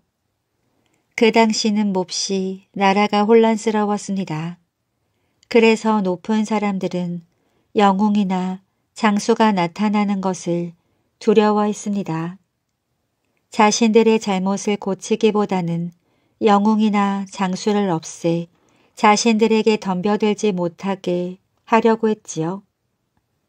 그러니 날개를 가진 아이가 태어났다는 소식을 듣고 가만히 있을 턱이 없었습니다.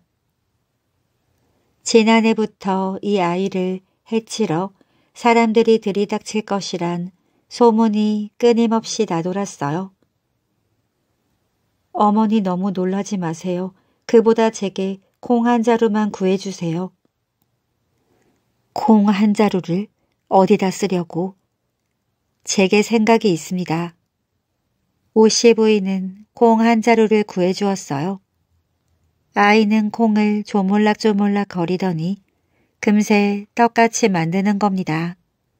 어찌나 신기하던지 우씨 부부는 아이에게서 눈을 떼지 못했지요.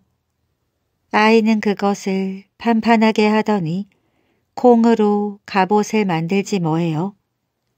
갑옷은 썩 잘 만들어졌습니다. 갑옷을 입은 모습을 이리저리 살피던 우씨 부인은 겨드랑이 쪽을 보다가 깜짝 놀랐습니다. 겨드랑이 쪽에 손가락만한 구멍이 나 있었거든요. 콩 하나리 모자라서 그런 거예요. 아이는 아무렇지도 않은 목소리였습니다. 하지만 우씨 부인의 얼굴은 어두워졌죠. 벼랑간 밖이 소란스러워졌습니다. 큰일이 났어요. 군사들이 마을로 몰려오고 있어요. 곧이어 밖에서 다급한 소리가 들렸습니다. 정말로 아이 말이 딱 맞았어요. 개미떼처럼 많은 군사들이 우르르 몰려오고 있었습니다. 아이는 당황한 기색도 없이 군사들을 향해 달려갔어요. 수많은 화살이 빗발치듯 날아왔습니다. 신기하게도 콩으로 만든 갑옷에 닿자 화살은 땅으로 뚝뚝 떨어졌습니다. 비처럼 퍼붓는 화살도 갑옷을 뚫지 못했어요. 그걸 보고 군사들이 오히려 당황했습니다. 아이는 큰 소리로 군사들을 향해 덤비라고 소리쳤어요. 아이의 겨드랑이에 달린 날개가 훤히 보였지요. 그것을 본 군사들은 움찔거리며 자꾸만 뒤로 내빼는 겁니다. 아이 하나를 채 치우지 못하고 뭐 하는 거냐? 어디선가 호통치는 소리가 났습니다. 아마도 군사들의 대장의 모양이에요. 그제서야 군사들은 다시 하나둘씩 앞으로 나왔습니다. 화살을 쏘아라. 칼을 높이 들어라. 대장이 싸우라고 재촉했습니다. 그 소리가 떨어지자마자 화살이 다시 빗발치기 시작했습니다. 아이는 요리조리 잘도 피해 다니며 군사들과 싸웠습니다. 저기 저 겨드랑이에 구멍이 있다. 거기를 쏘아라. 대장이 한 사수에게 속삭였어요. 아이가 이리저리 움직였기 때문에 쏘기가 쉽지 않았지요. 사수는 신중하게 화살을 아이의 겨드랑이에 조준했습니다. 마침내 아이의 겨드랑이에 화살이 꽂혔습니다. 아이는 그만 앞으로 푹 고꾸라졌지 뭐예요. 아이가 쓰러졌다.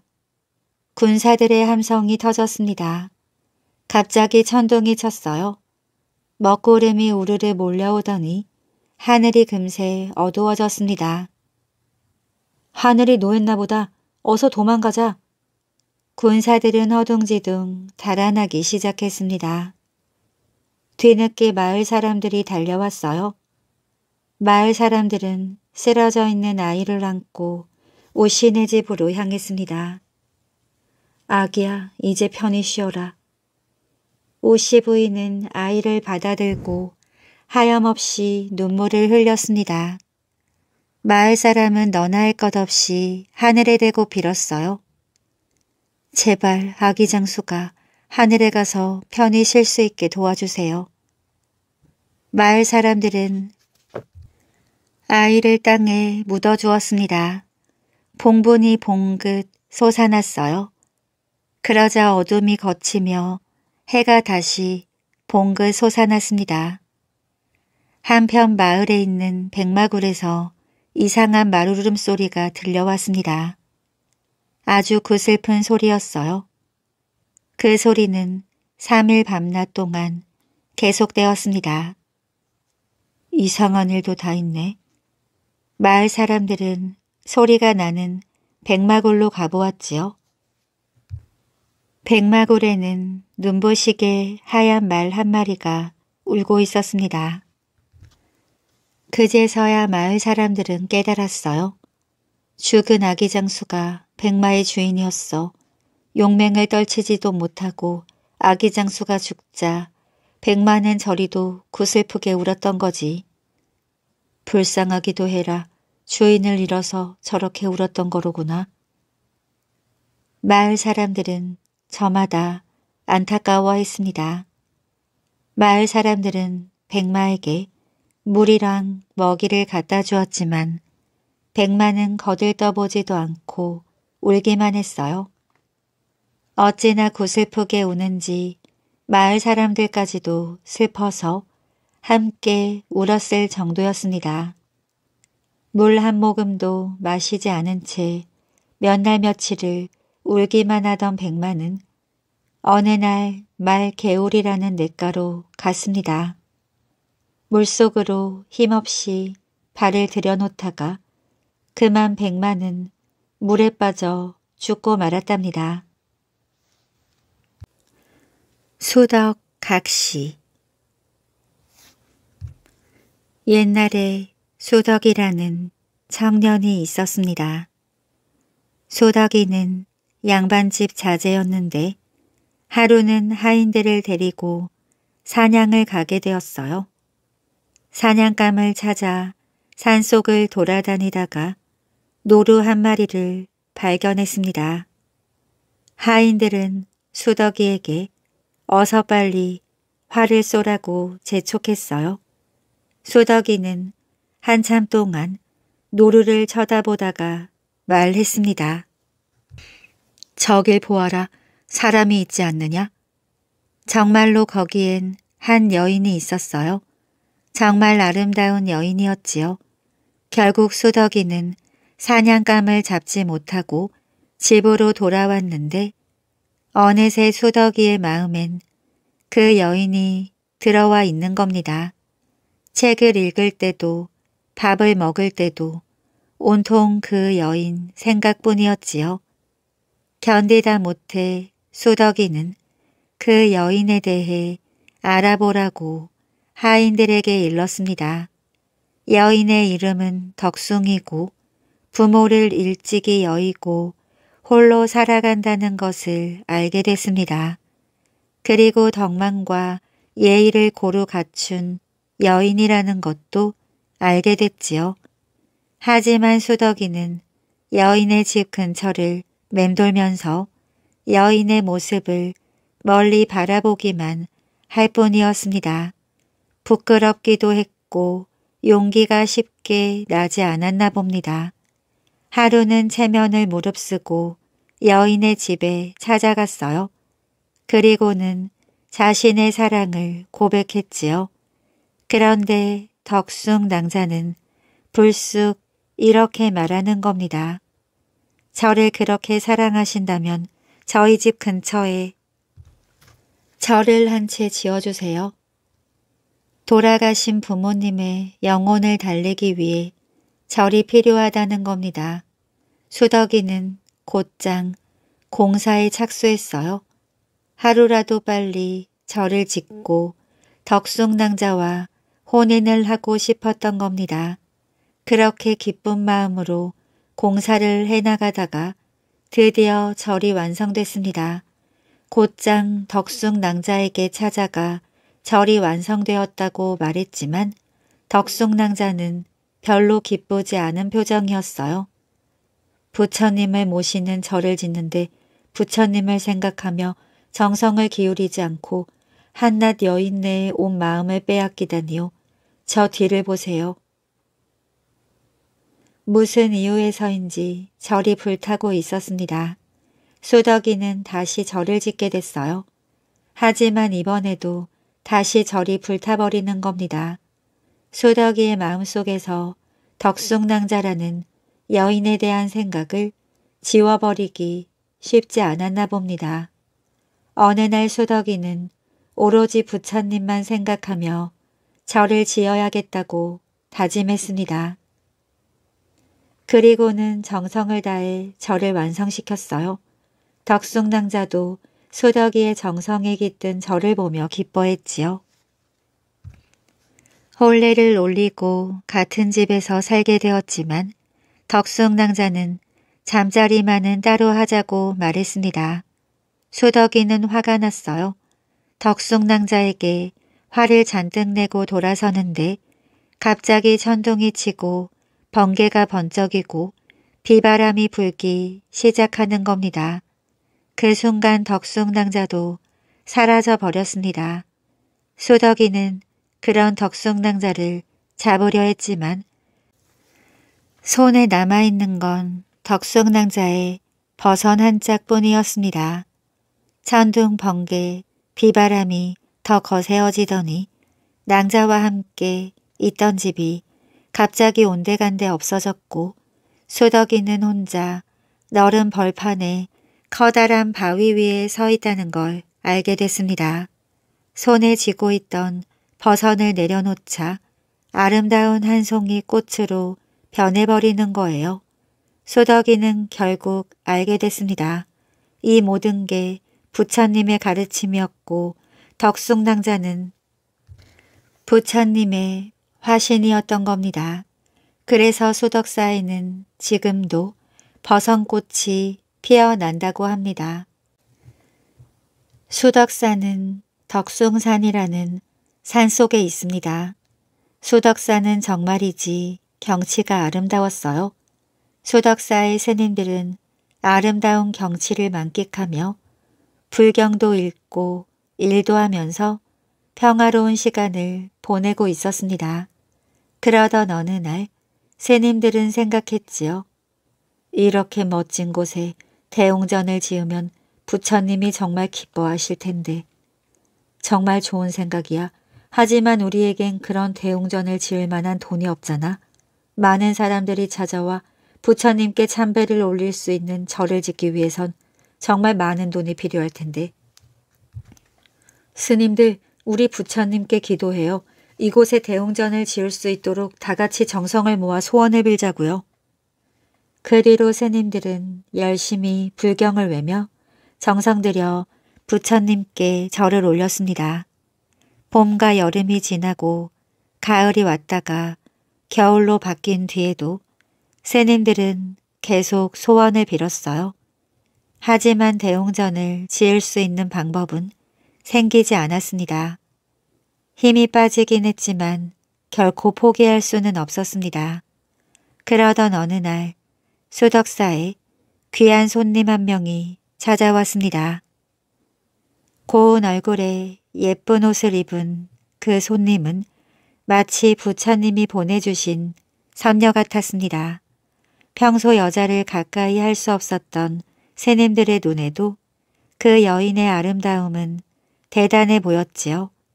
그 여인의 이름이 수덕이었습니다. 그로부터 새님들은 수덕 아가씨와 함께 지냈습니다. 수덕과 함께 멋진 대웅전을 지을 수 있도록 부처님께 절을 올리며 정성을 다했지요. 부처님, 이곳에 대웅전을 지어주세요. 수덕 아가씨는 하루도 거르지 않고 부처님께 절을 올렸습니다. 그러자 수덕사 인근 마을에 소문이 퍼지기 시작했어요. 수덕사에 예쁜 여자가 있다며 정말 천사 같다던데 얼굴도 예쁘고 마음씨도 착하대. 근데 매일같이 대웅전을 짓게 해달라고 기도를 드린다나 봐. 수덕 아가씨에 대한 소문은 점점 더 퍼져갔습니다. 그 절에 대웅전을 지어주는 사람과 수덕 아가씨는 혼례를 올린다나 봐. 그렇게 착하고 예쁜 아가씨와 같이 살게 될 사람은 정말 좋을 텐데. 소문은 점점 더 퍼져나가 소문을 들은 사람들이 하나둘 수덕사에 모여들기 시작했어요. 돈 많은 부잣집 자재부터 나무로 무엇이든 만들 수 있는 목공수까지 말입니다. 모두들 수덕 아가씨와 혼례를 올리고 싶어 했어요. 그렇게 수없이 모여든 사람들에게 아가씨는 말했습니다. 누구든지 이곳에 대웅전을 지어주는 사람과 저는 혼례를 올리겠어요. 사람들은 환호를 질렀습니다. 그리고 서로 먼저 대웅전을 지으려고 서둘렀지요. 먼저 돈 많은 부잣집 자제가 값비싼 재료들을 사들여 법당을 지었습니다. 하지만 아가씨는 마음에 들어 하지 않았어요. 아니에요. 그렇게 짓는다면 전 당신과 혼례를 올릴 수 없습니다. 다음에는 재주가 아주 뛰어난 목공수가 법당을 지었습니다. 하지만 아가씨의 마음은 기쁘지 않았어요. 이것도 아니에요. 정성이 없잖아요. 전 당신과 혼례를 올릴 수 없어요. 이렇게 수덕 아가씨는 까다롭게 굴었습니다. 다들 나름대로 정성을 다했지만 아가씨의 마음을 사로잡지 못했지요. 그렇게 하나둘 수덕사를 떠나기 시작했지만 단 한 사람만이 남았습니다. 그가 바로 이 덕숭이라는 사람이었어요. 이 덕숭은 일을 시작하기 전에 아가씨에게 다짐을 받았습니다. 정말 제가 이곳에 대웅전을 지어 올리면 낭자는 저와 혼례를 치르실 거죠. 아가씨는 고개를 끄덕였어요. 이후로 덕숭은 대웅전을 짓기 시작했습니다.